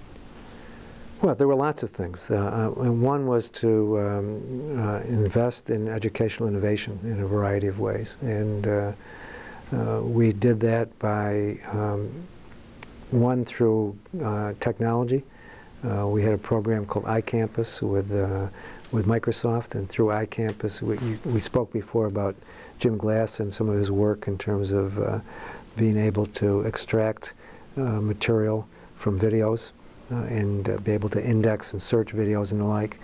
Uh, but we did a wide variety of other things like that, and I had hoped when I became dean to support those type of activities. Um, I thought of I thought that broadening the education of our students was a very good thing to do. We developed this uh, program called UPOP, Undergraduate Practice Opportunities Program, which I'm quite proud of, uh, that uh, takes sophomores, it's a voluntary program for sophomores, and uh, provides them with an understanding of practice that uh, I think MIT historically has been a marvelous place at uh, educating students on basic technologies, basic science, but perhaps could have done a, a better job of educating them about practice. And the question, a legitimate question was, can we provide more understanding of practice without undermining the fundamentals of MIT? And in that context, we developed this program, UPOP. Uh, it's voluntary, and about 40% now of the, all the engineering uh, students, sophomore students take it. It provides them with this broadening experience. So there's educational things that uh, we hope to accomplish. Uh, there was a hope of attracting um, uh, uh, more talent to the School of Engineering, particularly minorities and women. Uh, I'm very proud of the fact that we made great strides in attracting many women faculty members, and it's actually quite wonderful now to see a number of them getting tenure, uh, folks that we had hired during that period. And we made some progress with minorities, not as much as we might have liked, but made some progress with minorities. And that was clearly an objective that we had. And then the other was, uh, you know, I, um, I, at one point had this list of about eight or ten things that uh, people in university administration do. One is you're a, you're a patron for the folks and you try to help the departments accomplish what they want to accomplish, and I think that's very important. Uh, you represent the place to the world, uh, and we uh, developed, I think, broader communications for the School of Engineering. I mean, a, a curious thing when I became dean was that uh, the School of Engineering had no, no, vehicle of its own for communicating to the world. Departments had materials and brochures. MIT had Technology Review, and in some ways that was the, the publication, and we developed an online uh, publication newsletter every two months where uh, we spoke out about some of the things the school was doing. And I tried to make those more, you know, many universities do that, and it's just a bunch of uh, uh, lists of, of tags in terms of places where you go on the internet. We actually wrote articles about some of the things that we were doing. Mm -hmm. and so we tried to uh, develop better communications, um, better outreach of the faculty. And then um, support some of the um, more important uh, technological developments. And there was clearly the evolution of bioengineering at MIT was pretty important. What I call tiny technologies, it was micro and nanotechnologies. Uh, uh, I spent a couple, several evenings trying to come up with a word to capture that, and finally it was tiny technologies, which some people like and some people hate. But I think it captures the sense of what it was all about. That uh, the technologies, we talked before about going back to the 1900s, the, the technologies, I sometimes refer to the 19th century as the century of the large. And what do I mean by that? It was the century of large technologies. So think of, of oil refinery plants, think of steam engines. Why are the, the bays at MIT so large? Because we had all these big technologies. It was also the evolution of large corporations. So prior to 1900, almost all manufacturing was craft-based. And over the last century, we had the evolution of the GMs and the Boeings of the world and all, all the large manufacturing companies. And I think you could argue that this century increasingly is going to be the century of the small. Mm -hmm. It's the tiny technologies, the micro nanotechnologies, entrepreneurship, small companies and the like. So one wanted to help to uh, develop those set of, of technologies and areas. Engineering systems was one of them, as we talked about.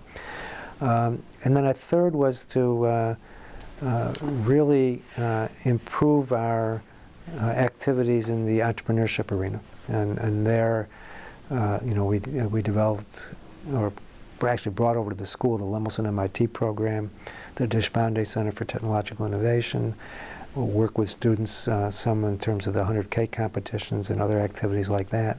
And so again, to try to stimulate more of a, the, already rich uh, ecosystem of entrepreneurship uh, within MIT, uh, within the school. So there was a variety of things like that that I had hoped to accomplish. And of course, you go into these jobs and there's always surprises, things along, along the line that you didn't think necessarily was on your agenda when you started, and you develop these over time in terms mm -hmm. of mm-hmm. things. Yeah. Well, you also shepherded a number of uh, partnerships with industry. Yes, uh, yeah, that was another. Can, yes, yeah. Can you talk a little bit about those? Uh? Yeah, I, I uh, you know, I, I Actually, before I became dean, I had uh, very little experience in uh, individual fundraising. but had spent a fair amount of time uh, raising uh, funds and uh, relationships with industry. Um, Leaders for Manufacturing and System Design and Management Program were sort of the two prime examples. And uh, MIT had already started, it launched on a program um, under Chuck Vest of trying to develop more industrial relationships. Amgen was the first of those. And we wanted to develop more of those that were based or related to the School of Engineering. Mm -hmm. And uh, I would say the two that I was most actively involved with at that time was uh, with Microsoft for iCampus, the educational program, and with HP, uh, the program we developed with HP on communications and uh, some um, printing technologies and nano te tiny technology type of things, but also to promote uh, those industrial uh, engagements. Uh, and I think they're very important actually for a place like MIT in terms of providing us uh, with access to uh, important problems, of reaching out to industry, uh, bringing in stimulations of industry, and providing an important source of support for exactly. faculty and students. Yeah. There was, a, uh, I think, a dramatic shift uh, in where that MIT's research support was coming from. That's correct. That's correct. And yeah. that was very deliberate. Um, very deliberate, yes. You were part of that with partnering yeah. with Chuck Vest and, and others. others. That's correct. That's correct. Yeah. So um, to shift gears here just for a second, I, I just wanted to uh, ask you uh, about Sloan. Um, how do you see the Sloan's uh, role at MIT? Sloan School's role at MIT. That was awkwardly yeah. put. Um, management is very important to the world, as we know. I mean, it's, it's clear it's very important. And I think it's important that MIT is a strong force in the world of management. And we can play a particular role in that, of um, bringing a certain type of thinking to the world of management. Uh, that's, uh, you might say, is analytic, it's uh, analysis-based approach to, to uh, management. And that's which I think in some ways uh, distinguishes Sloan. Uh, it's the mens et manus rigor and relevance, however you want to think about that. Mm -hmm. Can we develop theories of management conceptualizations of management, and then bring them to the world of practice. And in many ways, I think that's what uh, that Sloan represents.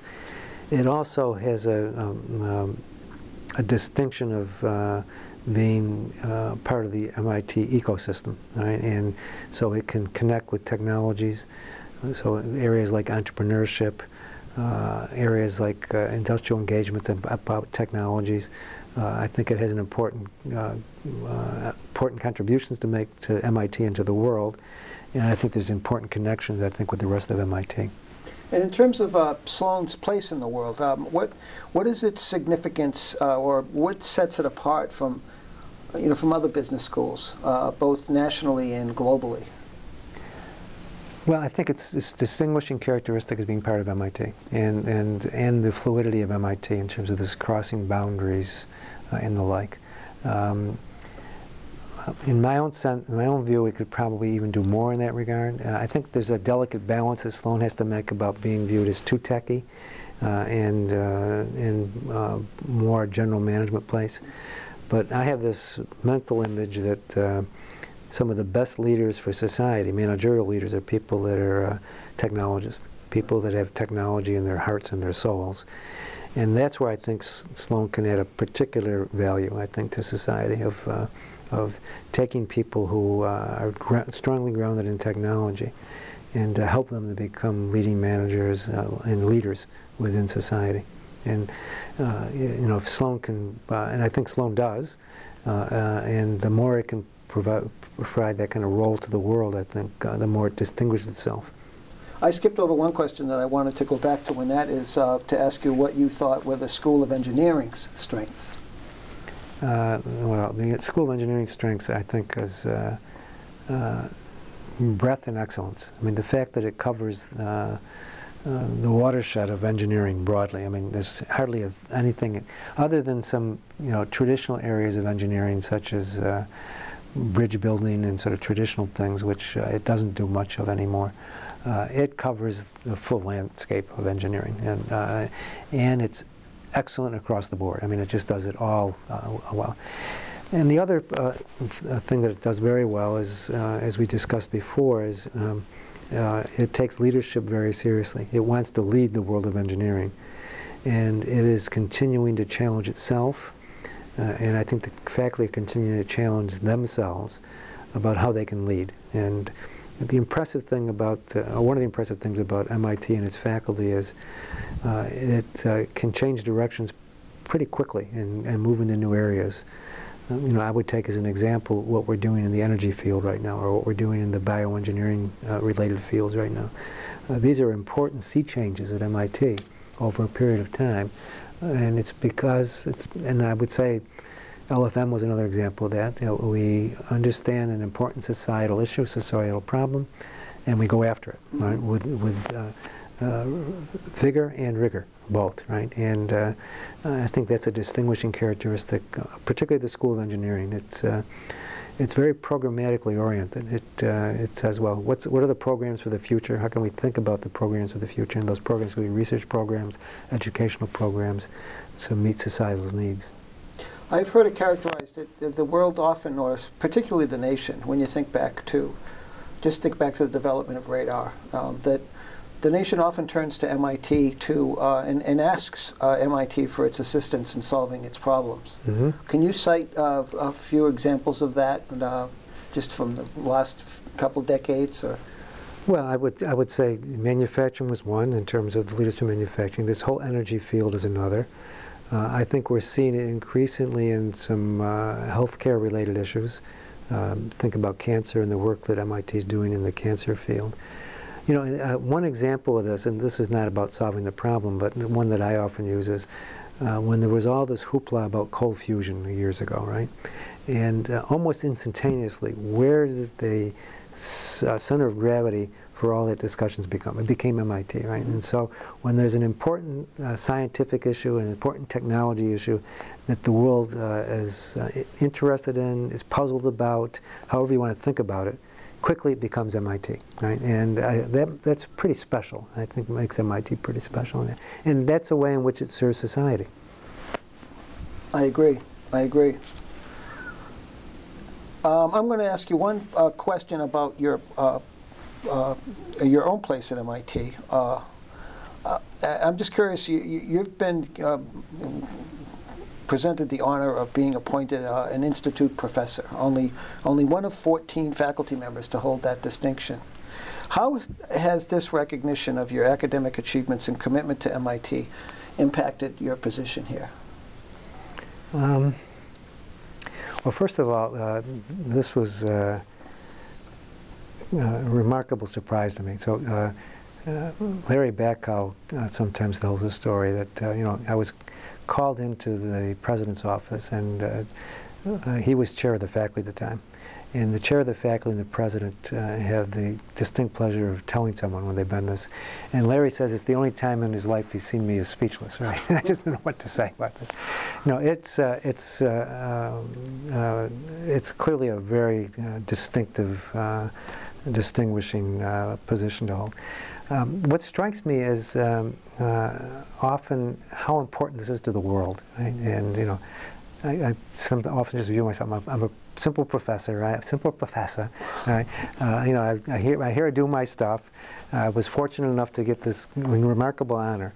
But boy, to the world, it means it means the world to the world, right? And uh, so I see this as I go around. People say, well, not only is he a professor at MIT, but he's an institute professor right. at MIT. So it, it's clear it means something to the world, and I and since it means something to the world, it clearly means something to me in that sense, right? It clearly means something to your colleagues at MIT. Yeah, and, and my colleagues, yeah, would yes. say the same thing, right? Yeah, yeah. So it's it's uh, uh, it's uh, remarkable honor. Yeah, it is. Yeah and pretty humbling when you also I think of my colleagues who I had. I also I was uh, uh, I was pretty young when I got it. And I remember John Deutsch coming up to me and saying, you know, you're too young to be a Mr. Professor. exactly. Right. You haven't paid your dues. That's right. Exactly. Right. right. right. So I'm going to ask uh, some gen more general questions about MIT. Uh, yeah. Uh, so over time, uh, during your your tenure here, what changes have you seen in MIT's culture? And the student body, the faculty? Mm -hmm. Mm -hmm. Well, I think that um,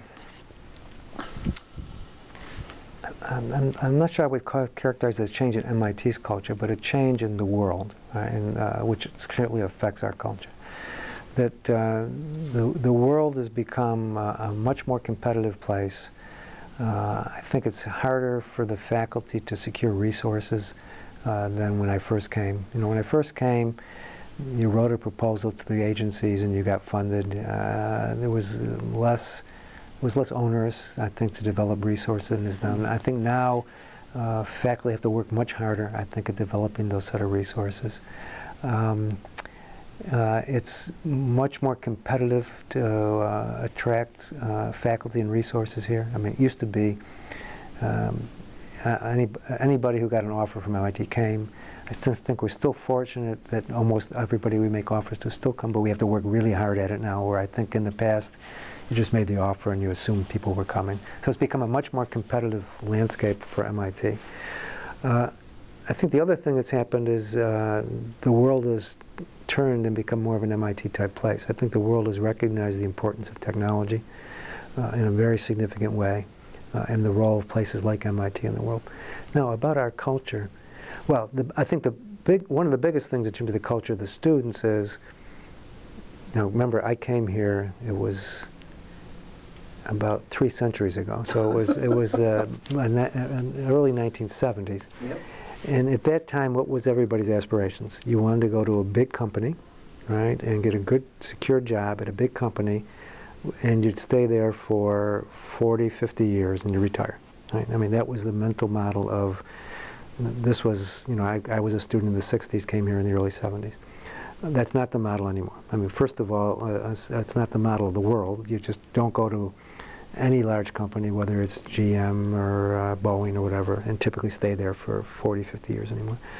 So the students are much more inclined to want to do things that are more entrepreneurial. They want to go to more uh, smaller companies, startup companies, and all those type of stuff. Start their own companies. Start their own companies. Now, of course, we went through this bubble in the late 90s in terms of the, the bubble, the famous bubble, and so I think that's modulated some now where they don't all think they're going to get rich in two years, maybe in quite the same way.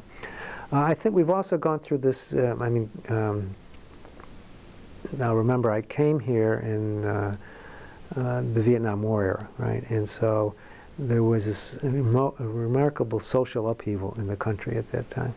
Uh, and uh, this social upheaval at MIT. So I, I, think at that time there was this enormous feeling of social responsibility that people had to society, and I think particularly war efforts and that kind of thing.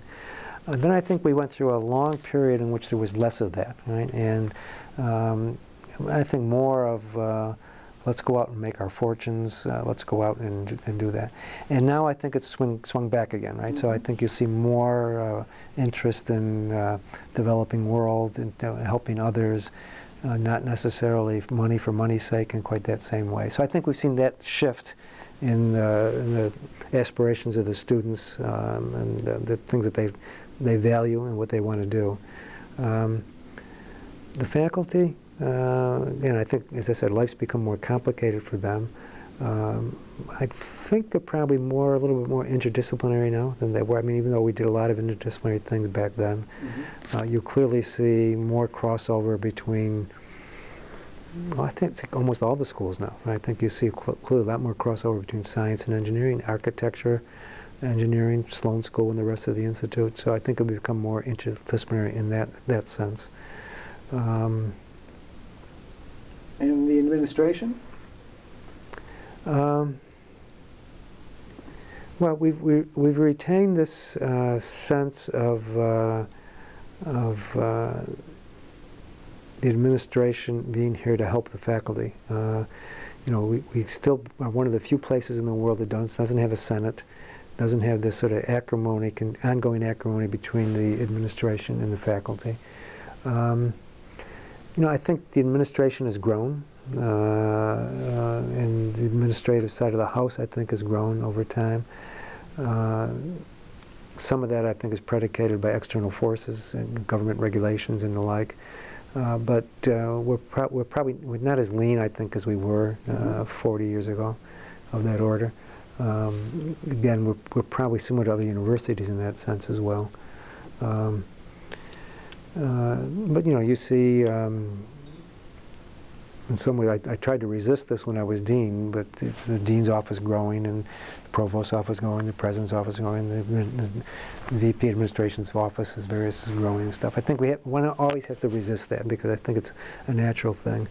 And we all have to remember, I, I, I used to have to, I often reminded myself when I was dean, you know, we're here to, not because we're here to be here, we're here to help the faculty and help the students accomplish all the great deeds they want to do. And uh, I think to its credit, the MIT administration maintains that view.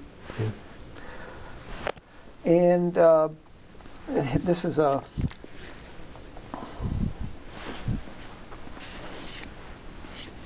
well, this part's going to kind of, I'm just going to continue on, but this is a, a, a big question. The, the, what do you think is and should be uh, MIT's role in the world? Uh, MIT's role should be the leading science and technology institution, period, right? That is, we, we lead the world, lead the nation and lead the world in science and technology and, as we say, in other areas of scholarship. I mean, I think uh, clearly uh, uh, our footprint in humanities, arts, and social sciences is quite important. Uh, though we have to, we should do it with the MIT brand, right, and that links to this science and technology base. Same with Sloan School, same with the School of Architecture. But I think, again, to sort of uh, be this very special place in the world and, and uh, always remember that we are this special place and should stay this special place, right? Uh, and sometimes, uh, not sometimes, but not to lose sight of that, right? Uh, uh, not to become another university in that sense. and I think that the forces are sometimes always to, uh, for all these universities to become like each other. I, I, always say one of the great things about the, the U.S. higher education system is you've got a Yale and you've got an MIT, and they're very different. Right. They're both very important, and they both do great stuff for the world, right? And how, how could you how would you describe MIT's uniqueness in that regard? Well, it's, it's, it's this anchor on science and technology. I mean, it's really important that it anchors on science and technology. Uh, I would say it's this interdisciplinary nature in terms of what it does. Uh, it's this uh, balance of research and education, of, of, bringing those together. Now, lots of universities would say that, but I think you know, the distinguishing feature is um, the science and technology, and you know, the sort of uh, a little bit the preeminence of engineering. You know, the fact that uh, engineering drives a lot of what goes on here. It's a big mm-hmm. part of what we do. There's the uh, engineering ethos that, that drives the place. Uh, also, uh, I think no, we should just never forget this ultimate meritocracy, right? You know, we're all about meritocracy, bringing the best and brightest, and providing this road to upward mobility. You know, I'm very proud of the fact that MIT continues to provide substantial financial assistance, make this place uh, affordable for uh, people that uh, couldn't afford to go to the great institutions, the learning institutions of the world. There are still a lot of first generation a lot, of, lot of first, lot, lot of first generation people, and I think there always should be lots of first generation people. And any changes you would like to see in the? Well, I don't know if it's changes, but I think MIT really needs to think about um, its uh, footprint in terms of international students versus domestic students. You know, it's only has now about seven, eight percent international undergraduate students. Right, uh, whether that's the right thing to do in the future or not. Uh, I, I do think that it's uh, thinking strategically about its international reach in the world ahead. I mean, we're going to start getting competition from great institutions around the world, and how do we think about maintaining our preeminence in this field? Uh, I think thinking through that. Um, clearly, MIT has been has to think about its whole uh, financial posture. You know that uh, we've. That's another thing that's changed, I would say, over the last 40 years that, uh, you know, it used to be you could rely upon tuition and other very secure forms of uh, financial support from the federal government and others to support the place. Now we have to rely on the endowment, we have to rely on gifts. So we, we're, we're uh, operating in a much more volatile financial environment than we were 40, 50 years ago. And that affects the place uh, rather drastically. I mean, we've seen this the last uh, two or three years with the economic downturn, right? that we're no longer isolated from that. You know, we're, we're part of that system. Uh, our, our funding depends upon returns on endowment and gifts and all these type of things. And so uh, you know, the more we can stabilize that, the better the, the place will be. But it, it may be that it's uh, uh, uh, we can't turn back the clock and, and go back to sort of the, that corporate funds. But it would be wonderful if we had this very solid, secure funding where we didn't have to worry about these ups and downs of the markets. Yes. Yeah. In, in terms of looking back over your career, what are the other, we- we've already touched on some of them, but what are some of the other uh, key institutional turning points that you experienced in your time at MIT? In what sense? In the sense of, of well, I think that the shift from, uh, well, certainly in the makeup of the undergraduate population, in Mhm. terms of, uh, uh, you know, attracting more more women, Yeah. um, and um, and also some of the more uh, uh, significant shifts in terms of. Uh, you know these recent initiatives, um, the energy initiative, the Mhm. c- cancer, and any of those over the last um, You know, I would say that you know there's clearly been a shift in terms of demographics of the place, and uh, we're a much healthier place now. I think because of it. Um, I think there's also the um, the um, just this impact, which I'm not sure we've fully come to internalize, and that's the impact of technology, right? In terms of this, I mean, the fact that we all carry these computers in our pockets now, right? I mean, it's just quite remarkable that, and you've got your version, I've got my version of this. What is the impact upon education for that, right? In terms of think about it, and the fact that every student now can be carrying a, a computer in his or her pocket or purse or whatever. Um, how do we think about that in terms of how we educate folks? Uh, someone's going to figure that out at some point, right? And I know you've been trying, and others have been trying and I might MIT to think about that.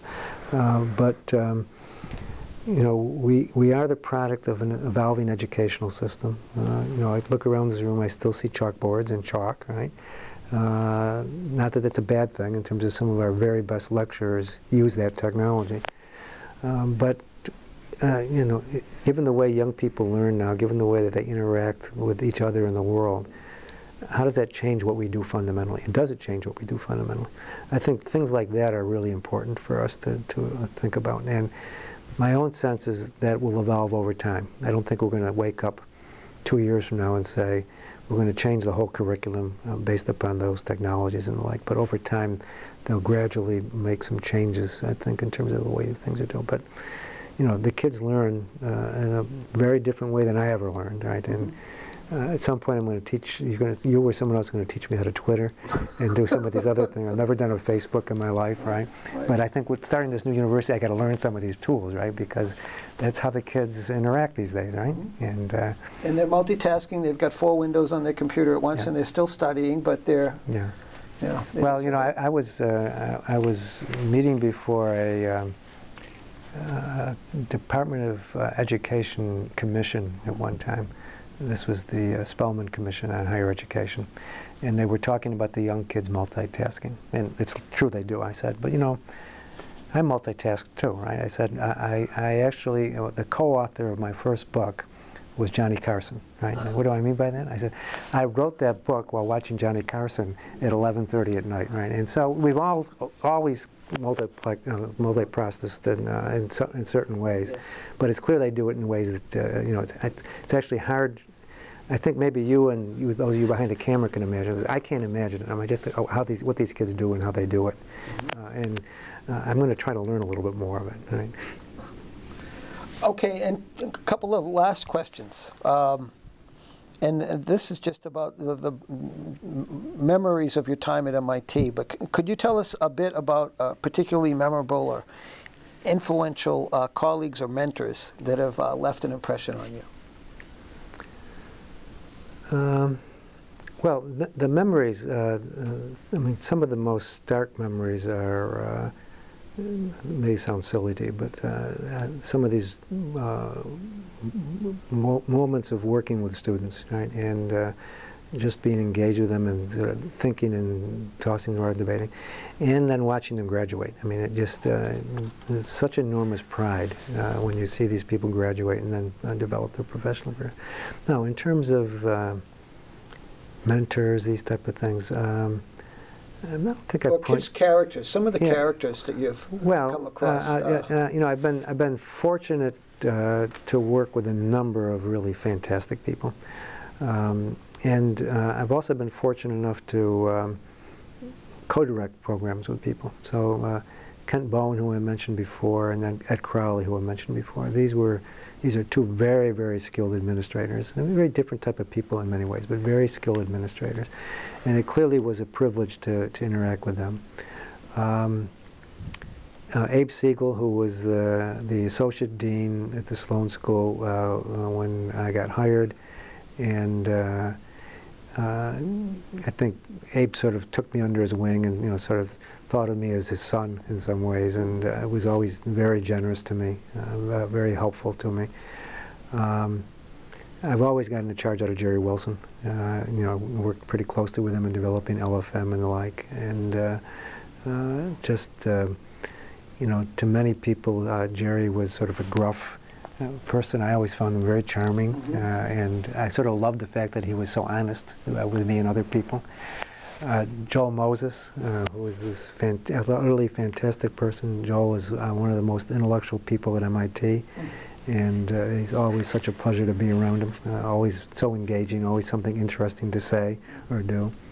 Uh, he is a bit of a character. Um, who might be some other people? Um, Well, I've, I've, uh, I've got these uh, remarkable uh, operations research colleagues. You know, I, I, wouldn't call them characters necessarily, but these are uh, people that um, I've grown up with, uh, and in many cases uh, they've grown up with me in the sense that they're younger than I am, right? And so I'm just proud of the, the watching them grow and having, you know, some modest influence on their lives or effect, you know, effect on their lives and interacting with them.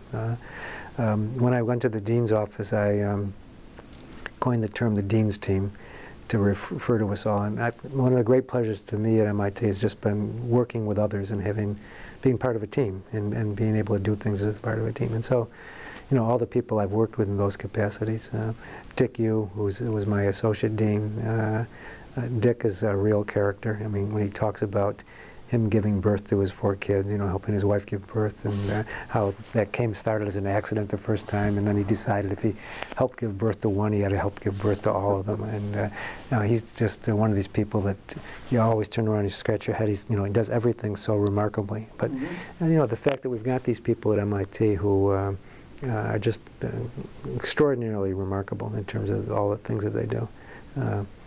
you know watching Bob Langer at work is always such a pleasure, and uh, the fact that you know he can uh, accomplish as much as he does. Uh, uh having interacted with John Deutsch over the years, mm. you know, another like Jerry Wilson, someone who um, is very forthright, and you sort of know where he stands. But you know, great people. clearly. Um, Chuck Vest, Bob Brown, that I was very fortunate. When I, when I was uh, Dean of Engineering, I used to say we have three deans of engineering at MIT. There's me, there's Chuck Vest, and Bob Brown, right? And, and uh, uh, there was a certain sense of that. And actually, it was it was um, it was uh, really good for me because uh, I'm not a typical engineer. I, am not a technologist in that sense. I'm a you know applied mathematician, uh, and uh, Chuck was somebody who knew uh, certain aspects of engineering, and mechanical engineering, these type of things very well. Bob knew the chemical engineering and learned the bio stuff quite well. So it was actually, uh, uh, uh you know, in many ways, you don't want to have uh, your boss or your boss's boss be in your field because you, they might, you think they might micromanage you. But in this case, it actually worked very well, and it was wonderful to do that. Um, so, you know, just the, the, whole cast of characters, right? Uh, well, MIT has quite a track record, it seems, as of late, of uh, developing college presidents when you yes, consider that list. And yes, that's I true. know everyone is thrilled that, uh, that you've joined that list. Mm -hmm.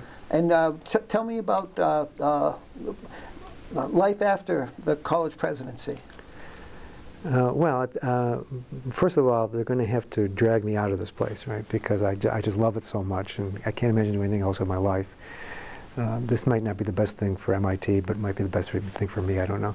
Uh, my sense is I'm going to come back and uh, you know uh, do some do, do some serious work. Might finish this book, you know.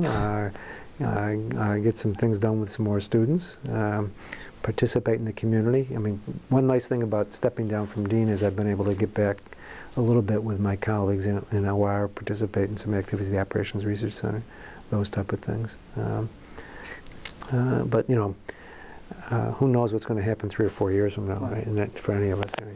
Well, I think yeah. everybody looks forward to your return after yeah. Yeah. after Singapore.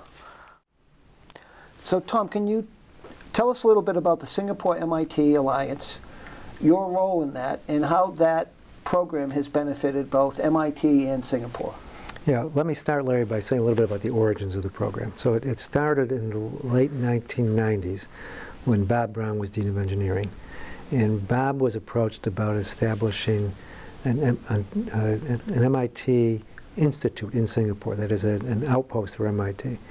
And uh, rather than doing that, Bob said, well, let's first do an assessment of the universities and an assessment of what MIT might be able to contribute. And I was uh, one of the 17, I think 17 faculty members who was involved with it. I was the only non-school engineering person. I was a Sloaney involved with that. Again, a little bit of this crossover in terms of not knowing where I belong maybe in some ways. Um, and so we uh, uh, did this assessment, and out of that assessment came the notion of developing joint educational and research programs uh, with Singapore. Uh, this was the so-called Singapore-MIT Alliance. And the program started with five uh, educational programs in five different areas. I was actually involved in one of them, the uh, program in computational engineering, high performance computation, I think it was called. Uh, and actually, at one point, hit one of, one of the PhD students. But soon after we developed that program, I became dean. So I inherited it uh, in terms of administrative responsibility, sort of shared with Bob, Bob Brown, who was then by that time provost. Uh, and the program is uh, developed, uh, uh, I think, marvelously over the years. It's had, uh, I think, at this point, over a thousand publications that have come out of it. And it's been, a, I think, of great benefit to Singapore in the sense of helping to develop programs at NUS and NTU in a, in a American-style culture uh, part of the objective of Singapore was to, for the universities to become more Western in terms of their outlook, and I think this has helped them become more Western. But at MIT, it's had lots of benefits. Uh, one is it's provided opportunities for our faculty to have a global experience, uh, a global experience in an area that was quite comfortable, English-speaking, uh, and yet very international, very cosmopolitan, uh, very multi-ethnic in terms of its background. Uh, it provided uh, opportunities for MIT to create new programs. So there's now a master's program in computational design and optimization. That was an outgrowth of that program. A new program in uh, manufacturing, uh, a master's program in uh, mechanical engineering was an outgrowth of that program. It provided research funding for a wide variety of students uh, and faculty. Uh, it provided opportunities for to create facilities at MIT, distance learning. So this was MIT's uh, broadest uh, experiment in distance education, certainly point-to-point -point distance education, where we were teaching 12 time zones and 12,000 miles away uh, every day, right? And so it developed rooms like the one we're sitting in in terms of providing technology for that. It provided teaching assistance uh, for the MIT faculty. It provided endowment for the MIT faculty. So that endowment has led to uh, graduate fellowships uh, at MIT uh, and to uh, investing in some faculty positions at MIT. and so there's been long-lasting uh, implications of that in terms of uh, the long-lasting contributions to MIT's uh, uh, long-term health, financial uh, health, if you will, as well as shorter-term contributions in terms of funding important research, providing new educational programs. So that was SMA, and it um, morphed after the first five years into so-called SMA2, which now MIT felt more comfortable and now gave dual degrees. and so there was degree uh, both in uh, MIT and in Singapore, not joint, but dual degrees. And um, uh, I was uh, working with Tony Patera at the time, who was the director of the uh, SMA program. I was dean, and we were putting together the the second program in terms of the second program. So I had sort of um, inherited that program from Bob and helped administratively to steward it over a period of about eight or nine years until I stepped down as dean. Uh, then, uh, uh, and Singapore had this uh, strategy of trying to uh, become a, an international knowledge hub, uh, and certainly a regional knowledge hub. it did this in a variety of ways. Uh, MIT was a leading participant in terms of SMA and then later SMART, as I'll get, I'll get to. But it also had attracted Duke to come in and establish the Duke uh, NUS Medical School. INSEAD, as I mentioned before, to create a campus there. Chicago has an operation for its business school there. At one point, I think I counted up probably about 30 universities that had uh, significant uh, activities there. Uh, none more, none deeper than MIT, though. Uh, as part of this, this, the government decided uh, to increase its uh, investment in R&D and uh, go to world standards up to about 3% of its GDP. And had many elements of the research program that was going to develop for that, but part of this was to develop an academic cluster to attract some of the world's best universities that come and set up operations, foreign research operations. And MIT was the first university it turned to for this. Uh, and uh, again, I was dean at the time when they wanted to do this. Uh, Subra Suresh uh, was the lead faculty member, and I was the lead member of the faculty in developing that program. Uh, and this was an opportunity for us to have uh, experiment with a foreign research campus. Actually, building a four-building complex will be one of the prime occupants of that complex of conducting research. And uh, the, primary reason we're there is because we can do uh, leading edge research, particularly leading, leading edge research we can't do in the United States. So for example, our first program was in infectious disease. And in that program, we were looking at uh, malaria and other pathogens uh, of, of, the region. You didn't want to be studying those pathogens back in the U.S., uh, bringing the pathogens back to study. You also had access to blood banks and other uh, sources of information in the region, which you just didn't have at U.S. The second program was in sensors for the environment and modeling for the environment. There again, they were looking at regional issues. You can't do regional issues from MIT. You could do those there. So that program, um, when uh, we were making the transition uh, from deans, when uh, and I basically swapped positions, uh, he became the, um, the dean of engineering. And at that point, there didn't seem to be anybody uh, who was quite ready to take on this program. I probably should have gone out to pasture at that point and taken a sabbatical or done something, finished my book or done whatever. Uh, but uh, crazy as I was, said, uh, you know, this is, I think, sufficiently important to MIT, and there seems to be no one else to do that. Uh, I'll take this on for a period. And so I uh, became the director of SMART for a period of uh, two years where I was, for personal reasons, uh, I couldn't go to Singapore full time. I was commuting, so I was actually going a, a week a month, uh, if one can imagine commuting to Singapore. I was commuting to Singapore. Then we were very fortunate that the Rohan Abeyaratne, the, the uh, former Department of Mechanical Engineering, uh, there was a really happenstance. I was in the dean's office uh, talking to Donna Savicki, the uh, assistant dean for the School of Engineering, and we were talking, well, you know, maybe um, someone like Rohan might be interested in this. And Rohan, ha Rohan happened to be coming by, and uh, I poked my head out of the office and said, Rohan, how would you like to go to Singapore for three years and had this program? And quite surprisingly, he says, well, let me think about this. And the rest is history. He's now become the director. He's in Singapore for three years to head, head the program. So that was the, the, the SMART program and developed, and it's now got uh, two other research uh, programs. There's a program in uh, biomechanics that we're doing there, and one that was just approved called uh, Future of Urban Mobility, looking at uh, uh, transportation, urban transportation systems. So that was SMART, and as we became more comfortable with Singapore in our interactions with Singapore, and they became more comfortable with us, there was a, a, growing appetite, I think, from Singapore for us to do things, and a growing willingness for us to do them in the sense of hopefully doing good deeds and providing significant resources for MIT to do these good deeds. Uh, then a couple of years ago, I was uh, visiting with the former Deputy Prime Minister of Singapore, Tony Tan is his name, an MIT alum. And uh, I was, I remember this still vividly to this day. I was sitting in his couch in his office, and he said, uh, Tom, uh, probably the most uh, important thing we're going to do in education over the next decade or two is develop a new university. How would MIT like to be involved in this? And we're looking for an international uh, partner for this.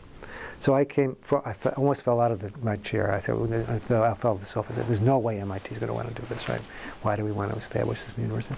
So I came back and talked to the provost, Rafael Reif, and some others, and surprising to me, there was some interest. You know, this might be a, a great way to do educational experiments, to uh, invest in education, and to do some good deeds for the world. And that led to a set of discussions over time. Uh, At one point, they, uh, actually early in that, they said, we'd also like the founding president of uh, this university to come from the partner university. Uh, We were competing for this, so this wasn't, they were just looking at us, they were looking at other universities. And um, the, pro the provost asked me if I would lead the negotiations for this. I had no sense that I was going to be the president of this thing because of my personal circumstances. I can't go to Singapore for three years or four years to start this. So I figured I was just doing this to help MIT. Uh, but somewhere along the line, uh, they got it into their heads that I should be the guy. Uh, they were willing to uh, accommodate my personal circumstance in terms of this commuting. I think they were attracted both because they knew me and also we talked before about the importance of the institute professor. So having an institute professor at MIT do this was pretty important to them. Um, so uh, I, I uh, agreed to do this and decided to do it, and we worked out all the details and things. Uh, and uh, then we were chosen to be the partner of the collaborating university for this new uh, program. And as we discussed before, MIT's involvement is going to be multifaceted and rich, developing curriculum, student exchanges, uh, helping with uh, developing co-curricular activities, technology-based, et cetera, et cetera. So that's the evolving Singapore story. Uh, whether it'll grow in any sense in the future, it's not quite clear, but uh, it's become, uh, I think it's fair to say, our deepest intellect- international collaboration probably ever, uh, and a very significant collaboration. Well, well, it's not surprising that, uh, at all, that they would ask you to lead this effort to Mhm. become president. Your career at MIT has been marked uh, with uh, a series of starting programs. Mhm. Uh, We've talked to LFM, SDM, on, on and on. Can you talk a little bit about uh, your uh, expertise at, at, at starting programs like this at MIT? Yeah. Well, I think one of the nice things about uh, MIT is MIT in general is entrepreneurial. Um, and if I think of myself, I think the last thing uh, anyone would want would be for me to start a company, right? Because I have no facilities uh, and no talent for managing a business, managing finances of a company, meeting payrolls and all this kind of stuff. On the other hand, uh, MIT provides a great opportunity for what you might think of as academic entrepreneurs. And if in some ways I were to characterize myself, uh, other than my educational or research contributions, it would be as an, as an academic entrepreneur. Uh, uh, I get the biggest charge out of starting new programs. And one of the downsides for, for me for being dean, we were able to start UPOP and a few other things, but you're somewhat removed from that as being the dean. You, you sort of handed it off to someone else to go off and do it. Uh, and one of the nice things about stepping down is I could again become an academic entrepreneur, and whether it was LFM or SDM or these other programs. And SMART was one version of that, and the notion of getting SMART up and working and try to make it successful was a, a challenge. Uh, and it also had the uh, opportunity of working with uh, lots of uh, faculty at MIT and the administration to make it work. And putting the puzzle together, like starting up a new company, uh, new ventures, uh, there's lots of, for me, lots of psychic rewards in doing that and, and a sense of accomplishment, collective accomplishment for the team. And I view this uh, activity with the Singapore University of Technology and Design the same way. It's um, an opportunity of working with a, a team, team of folks in Singapore and a team of MIT faculty, many who I've worked with before, but some who I haven't. Uh, and just, I just find it uh, enormously exciting, uh, en- enormously fulfilling to be able to be this kind of uh, academic entrepreneur. And as I said, MIT is a place that values that. It values new programs. It values this entrepreneurship activity. And it provides an environment that's c- conducive to it and supportive of it. And uh, so in that sense, uh, SUTD is an evolution for me in terms of a series of these these opportunities. I, I suspect it may be my last big one like this, but uh, well, no one never knows. We'll see. We'll That's see. I think everyone's looking forward to, uh, well, the- I mean, the benefits of these programs have been enormous to MIT, both Mhm. um, from an, uh, an educational point of view, but also from an economic point of view. Yes. And um, so I look forward to uh, sitting down with you again when you return Yeah, from, when- from when- your presidency. When we do the 200th. Exactly. Yeah, you may be here, but I don't think I will be. Thank you very much. Yeah, not- yeah, my pleasure. My pleasure.